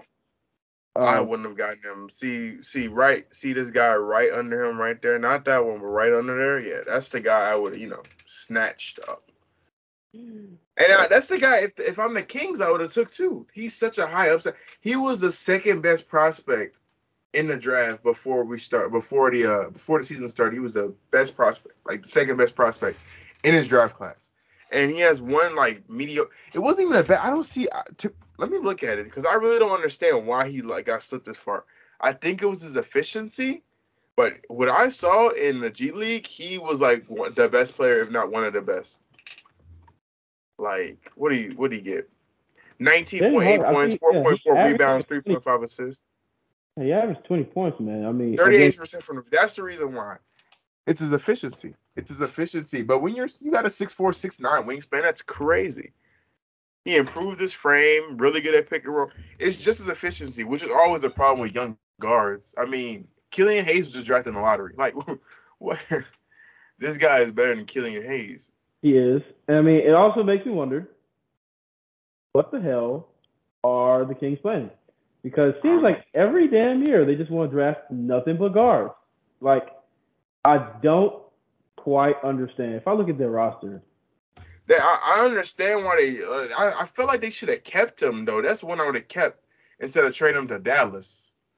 I just don't. So you have Donte DiVincenzo, De'Aaron Fox, um, Josh Jackson, Jeremy Lamb, uh, Davion Mitchell, and now you have Jaden Hardy.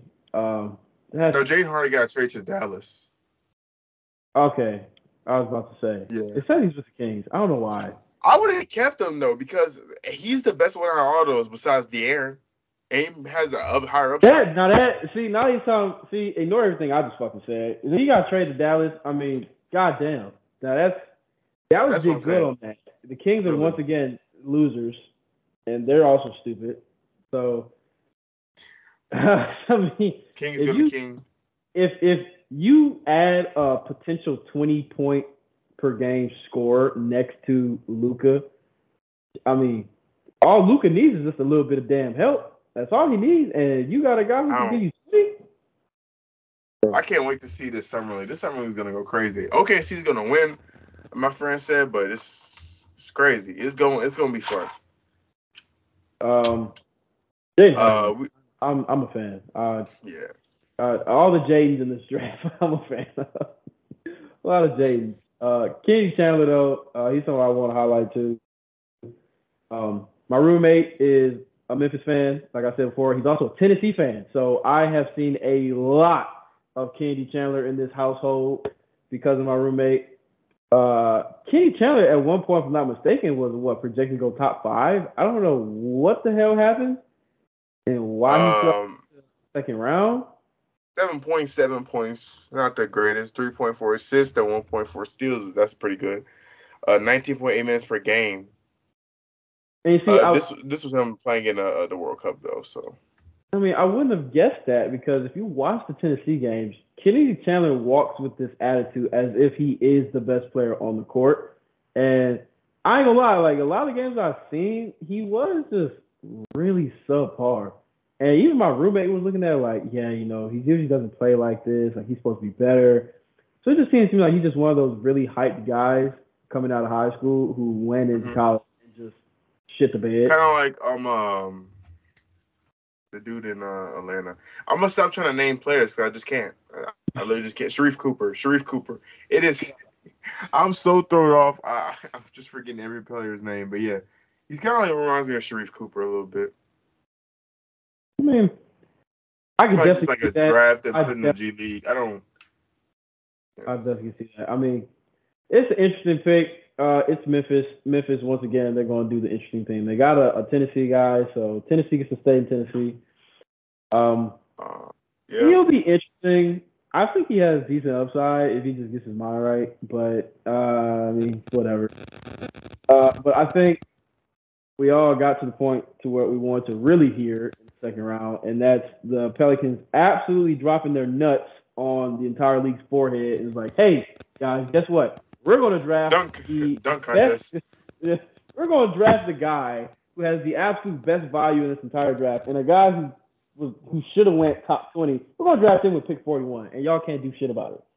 So, EJ Liddell, love this guy. Uh, I think he's better than Malaki Branham, his teammate. Shout out. Um, the dude may strive as a three point shooter and a shot blocker. you remember me saying in the in the in the first podcast I did, which is the the two things I really wanted was a rim protector and a playmaker. And we got a playmaker and some defense in Dyson Daniels, and then we go and get a shot blocking wing who can also play make and shoot in the second round. Hey, he reminds me so much of Bo Cruz and Hustle Man is ridiculous. I'm gonna, I'm gonna start calling him Bo Cruz because he's. Hey, if he can be a Bo Cruz, I ain't hey. gonna lie. We're winning the chip five years hey, ago. It's gonna be different. It's gonna be different. We get Bo's Cruz. Oof. The cruise missile, man. I'm I'm extremely happy with EJ Liddell. I was really looking at Kofi Cockburn at this pick though, uh, or Kenneth Lofton, but EJ Liddell, looking at him and looking at his film and his stats and all that, what he also what he averaged averaged 19. Oh, let me go back to the page. 19 and, and eight.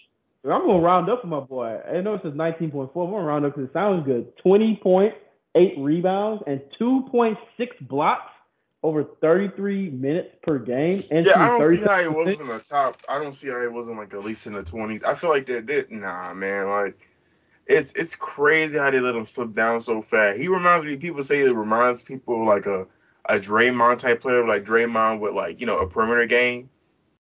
Oh, he's he's better than that, and he's he's he's explosive too. He's very athletic.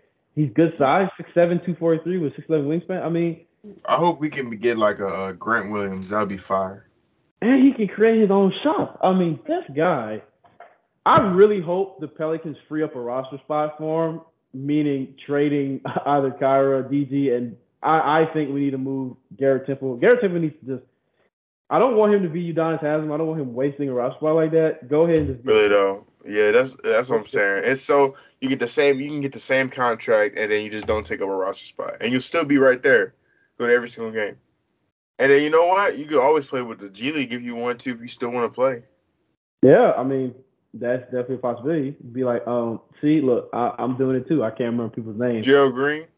No, the guy who was like 39. He was with the Lakers G League team. Oh, the uh, uh, Ingram dude, Andre Ingram. Yeah, See, look, I can't remember people's name either. Uh, you go ahead and be him. I mean, he's damn near the same age. So, for real.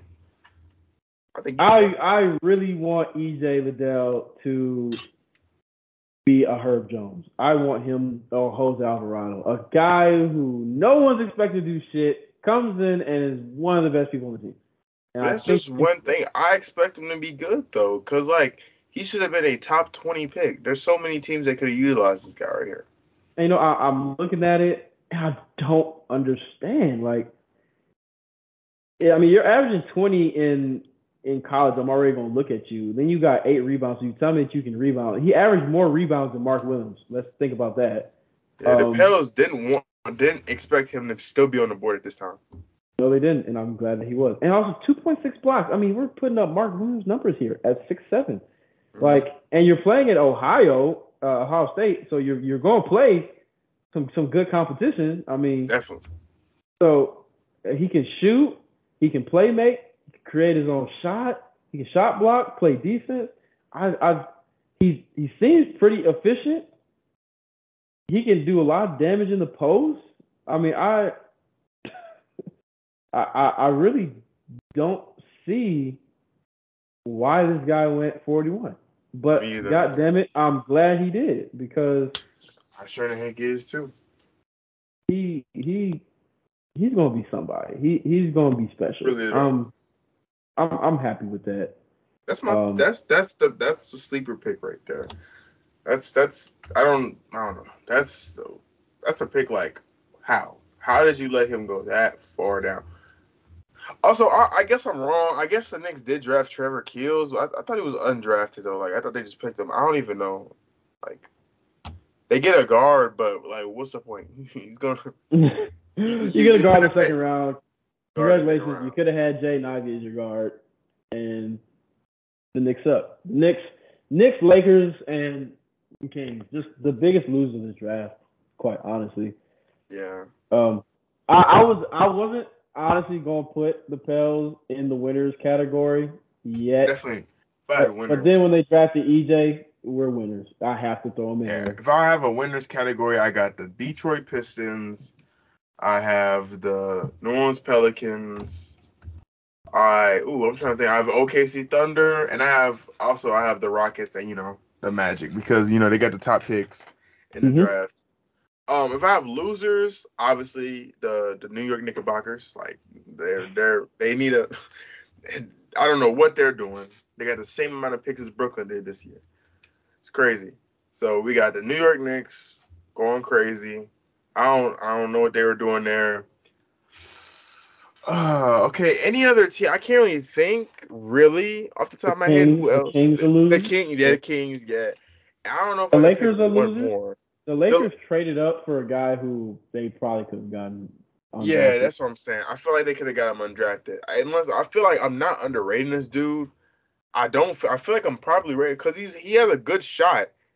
The mechanic, it looks it's a beautiful shot, but he just didn't shoot that well and efficient. And that usually turns off a lot of scouts where you could easily just pick him up in unrestricted free agency. I mean, you got Sharif, which I mean, okay, he's not all that. You got Scottie Pippen Jr., who I think is pretty good. So I mean, like, yeah, that I mean, that's cool. I mean, we know Lakers can't develop for crap. yeah. So, And they're going. He's going to be. They're probably be the best players in the league in three years. Oh, yeah.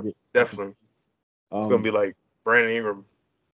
Well, we Kuzma. completely forgot Karlo Matkovic. I think that's how you say it. Uh, Uh, yeah, I was looking at his thing while you were talking about um uh EJ. Um, he he got hops. He got hops. That's all I can really say. He got hops. Uh, uh, if I'm gonna be, if I'm gonna overreact, I'm gonna say he's a Croatian Blake Griffin. Um, I saw that comparison, super- man. super overreaction, but Yeah, honestly, he's he probably, give me- he's probably gonna be a DD. He's gonna be a guy who's gonna be overseas for the next two years, and I'm honestly probably gonna forget about if him. he could He's have that one highlight like Didi did, where he clamped up Luka, I'll be happy if that's all his career comes to in the league. Because Didi or you clamped know up Luka for that like five minute stretch or whatever it was. If if he gives me a Terrence Jones game against LeBron, um, he's gonna go down as a Pelicans legend. like, Yeah, I just. oof. Oh my gosh, I, I feel like he, he's athletic. I mean, I see the tools. Hey, he's uber athletic. You see the dunks he be throwing down. Um, maybe that's our Jaxson Hayes 2.0. I don't know. He's more of a wing player than Jaxson Hayes. uh, he he's a he's a vibes guy to me. He's Yeah. gonna like I said, he's gonna be overseas two years, so I ain't gonna say much about him because I'm gonna forget about him uh, for the next. Yeah. years. Sorry, we showing a, you know the Pelicans bias by talking about this unknown second round pick, but he's not wrong. I'll talk about Kendall Brown because he felt really low. He felt really low. Uber athletic. He went to Baylor to be the number one option. and ended up going all the way down to 48 because you know Jeremy Sochan was drafted before him. That's literally I'd be disgusted if I literally went there to be number one option and Jeremy Sochan get picks. And not because he's not because he's bad, because but like you literally went there to be the number one option, and then other players just surpassed you, and then you just got just fell all way in the draft. 'Cause I thought he was going. He was like ranked like one of the top players in the draft. Like he's uber athletic and everything. But we got Isaiah Mobley. Um, I mean that's cool. Cavaliers, you know, obviously why they is that drafted him. um old dude's brother? my tripping? Yeah, his older brother too. Yeah. That's wild. That's wild. That's wild. Uh, that was also for the vibes. That's a vibe pick. Uh, yeah, he's he's also good. Um, Yeah. pause. Uh, so I No, mean, uh, that's about that's about all I got for the draft. Uh, Yeah, for I do want to mention Kofi Cockburn. Uh, I forgot who picked him up. I think I want to say the Spurs. Don't quote me on that. Or maybe Utah got him. Yes. Okay. Yeah. So the Jazz actually got two guys who I really like. I've fallen in love with Johnny Juzang when I watched him. What was that? Two years ago, uh, in the final in the finals for March Madness. I I, was- I watched that uh, Johnny Juzang for UCLA. I watched that UCLA team that entire uh, tournament, and Johnny Juzang was giving bucket after bucket after bucket. He was really giving me Kobe Bryant vibes with just how he was acting. Like they'll be down, he has a big shot. Like I loved it. I was like, this dude can play in the clutch. This dude is a hooper. This dude is a baller. and he went to Utah. And well, you know what? We're, we're not even gonna talk about that because I hate Utah. Um, Give the name back. I'm on that that train. Uh, Kofi Cockburn. I thought he was going to get drafted first round. I think he should have. He was a 20 and 10 guy, if I'm not mistaken. Yeah, I don't understand how he didn't. He was like really dominant as the center, like playing, all especially offensively. And look at this guy. He's a absolute unit. Put him on Really? side of Zion, please. I mean, we're gonna have we already got the strongest front court in the league by far, but Jesus Christ, add him too. Why not? He could be. I thought we were going to draft him because he could be a Willie replacement. Um, I mean, he can defend. He's the rim protector that we needed, and he has an offensive game in the post. So I really wanted Kofi I really wish we would have drafted a center in this draft class because there's some really good ones. Um, Abo Adaji, he's he's raw, but I think he's like whichever team fitness. I don't know, man. It might be running out of time. I, I hope my man gets signed this year. He, I see the man. It's like the fifth time I said it, but I see the vision. I do see the vision. I also see the vision with Kenneth Lofton. Kenneth Lofton. Uh, I know a I lot of people do. that that listen to this probably don't know who the fuck that is, but um, I hope they do. I go to school Uh, with the two. Um, solid. Just he he. People are going to say, oh, you know, he's big. He's he's undersized, but he's you know, he's big, and he lost weight. And even when he did have the weight, his footwork is a lot quicker than you think it is, and he's a very slick, athletic dude. Kind of like Dexter Daniels. A lot. He's a lot more athletic than he looks, and a lot more athletic than people give him credit for. Um, Man, it was like three something, and then whatever he is now, he's like two two fifty. He's not bad. Yeah, no, like the only thing that Maybe it's a little. I- Maybe I think it's really just probably a body fat percentage. I mean, he probably has a little over body fat percentage. You get that Ah. down, height. He's six seven. Like yeah. that's wing. That's all these wings in this draft are like six seven. And If he if he was seven foot one, at all even out. It'll look the same, and no one Yeah. be saying anything. if he was six ten doing what he does, oh, he'd be in the lottery. he'd be in the lottery. But he was Yeah. six seven, and he plays at La Tech. I mean, Yeah. I was gonna be honest. He plays at La Tech. Uh, I mean, hey, we had Karl Malone, uh, Paul Millsap, Kim Mulkey, Teresa Weatherspoon. Shout out to Coach T Spoon for the Pels. Yeah. La Tech legend. Um, so it's a little history for, for some people out there. Paul Millsap, you know, Hey, go. Go. I mess with Paul Millsap. choose some players. So I think Ken Lofton can can be added to that. Ken Lofton's, you know, King Lofton kind of do remind me a little bit of Paul Millsap a little bit. You know. Good player, man. I, I I really I'm really gonna root for him. I really hate the fact he's on the damn team. Um, God, I hate I- that, but Yeah. I'd rather him. I'd rather the Grizzlies than Utah. I mean, I it's it's making it really hard to root for the Grizzlies now, man. Also, they're like the conference rivals, but also they're really annoying on Twitter. Like really annoying. Like you mention anything about them, and then they're all coming at your neck talking like like like like Ja Morant speaking in italics. Like dog, like it's it's, it's getting crazy. That's a lot for a team that ain't win shit. I mean, Obviously, though, they're talking. They talk so much trash about the Warriors and stuff like that. But what has Ja Morant done in his career besides win or MIP and Rookie of the Year that he didn't deserve? If Zion would have played that full season, he wouldn't have even got it. uh, I honestly don't even think he should have got MIP because to me, MIP. Yeah, the most. Oh, you don't give it to a top who- pick. If you win Rookie of the Year, you shouldn't be winning MIP the next year because, like you said, he's a top pick and he won Rookie of the Year. So we know that he has superstar trajectory, and so when he has a superstar season, we shouldn't be fucking surprised by this. So I, I think there's a lot more people. And that I think Lucas Jordan Poole should have got it. Jordan Poole was MIP, MIP in my opinion. Oh, I mean, was definitely. in- Jordan Poole's my MIP. I already got him or Darius. I, I, I more like Darius Garland than LeJock. At least Darius Garland wasn't nearly as good. He was like one of the worst players in the league statistically wise. so, oh. I still rather no lottery pick to get MIP the next year. Maybe later lottery, but not a top two it's pick. like 13 maybe, but like, yeah. Because if Zion would have came there, like Zion would have started off slow, and then the next year average like twenty eight, like seventy percent from the field, and win MIP. That's so weird. Because like, I don't know. It's like the Devonte Graham, Brandon Ingram situation. But I like, you know, that was a lot closer than what it was like. Because those two actually both had like lower stats, but Devonte Graham was like really, really low. Like he only averaged like what a point, like five points, and it went up to like almost like eighteen. Great. And I mean, MIP Devonte Graham was different. It wasn't like his third year when he did that. His fourth year, like he, like he, people were expecting that from him, but like year two, Yeah. it didn't happen. So I Laker mean, fans, they just got they tripping. Development is not a thing with them. that's all I got. That's all. I, that's all I want to talk about. Yeah, I think that's I think that's pretty much it. We talk about the draft. We're definitely gonna have a Pelicans thumbnail because I did already pay for the thumbnail, and we talked a good bit about the Pelicans. So you know, Um, it was like a it was a long stream.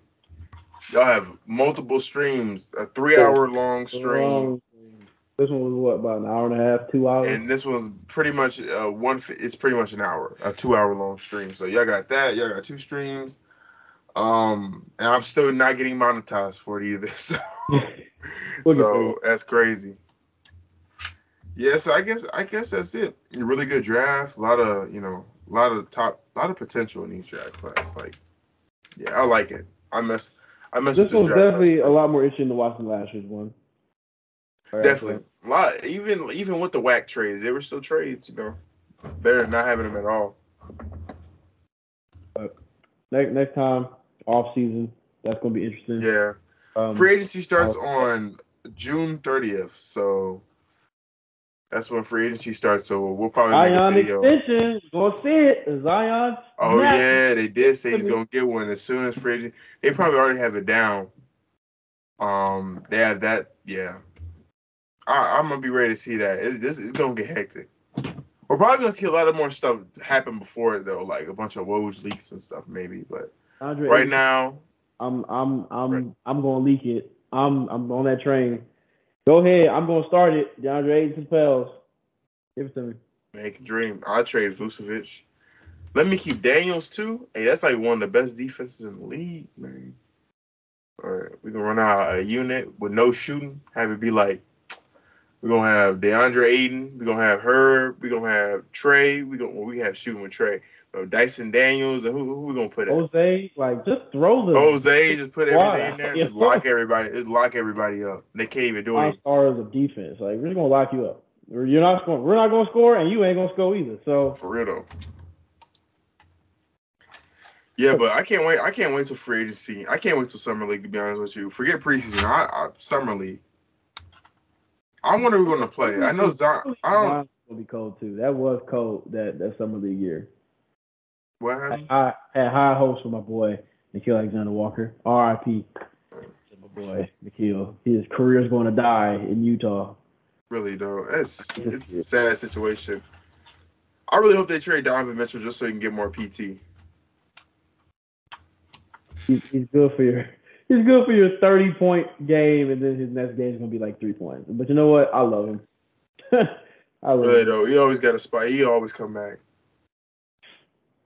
Hopefully Utah don't extend him and he just becomes a restricted free agent. Sign him again. Yeah. Yeah, I'm cool with that. He kind of fits. I mean, he can be a good scorer, score off the bench. I mean, There survives, man. We're gonna have a bench that's gonna look like the 2018 Nets. Like that's gonna Yeah. be vibes. That's we'll have a bunch of we'll have a bunch of highlight mixes just the bench. That's, that's the vibe team. You got Garrett Temple who could be Jared Dudley's old ass. We got the vibes. You gonna be you gonna be trying to go up against Ben Simmons like Jared Dudley did that season. That Oh. I, give it to me. I I want all that smoke. It's gonna be Garrett Temple versus Jayson Tatum. I can see it right now. Him versus Devin Booker. That's what it's gonna be. Really though, it's gonna be him and Jay Jae Crowder still gonna be on the Suns. So so they shopping Jae Crowder. I hope he man he, he better come near the Pelicans. So ain't nobody want Jae Crowder. Ugh.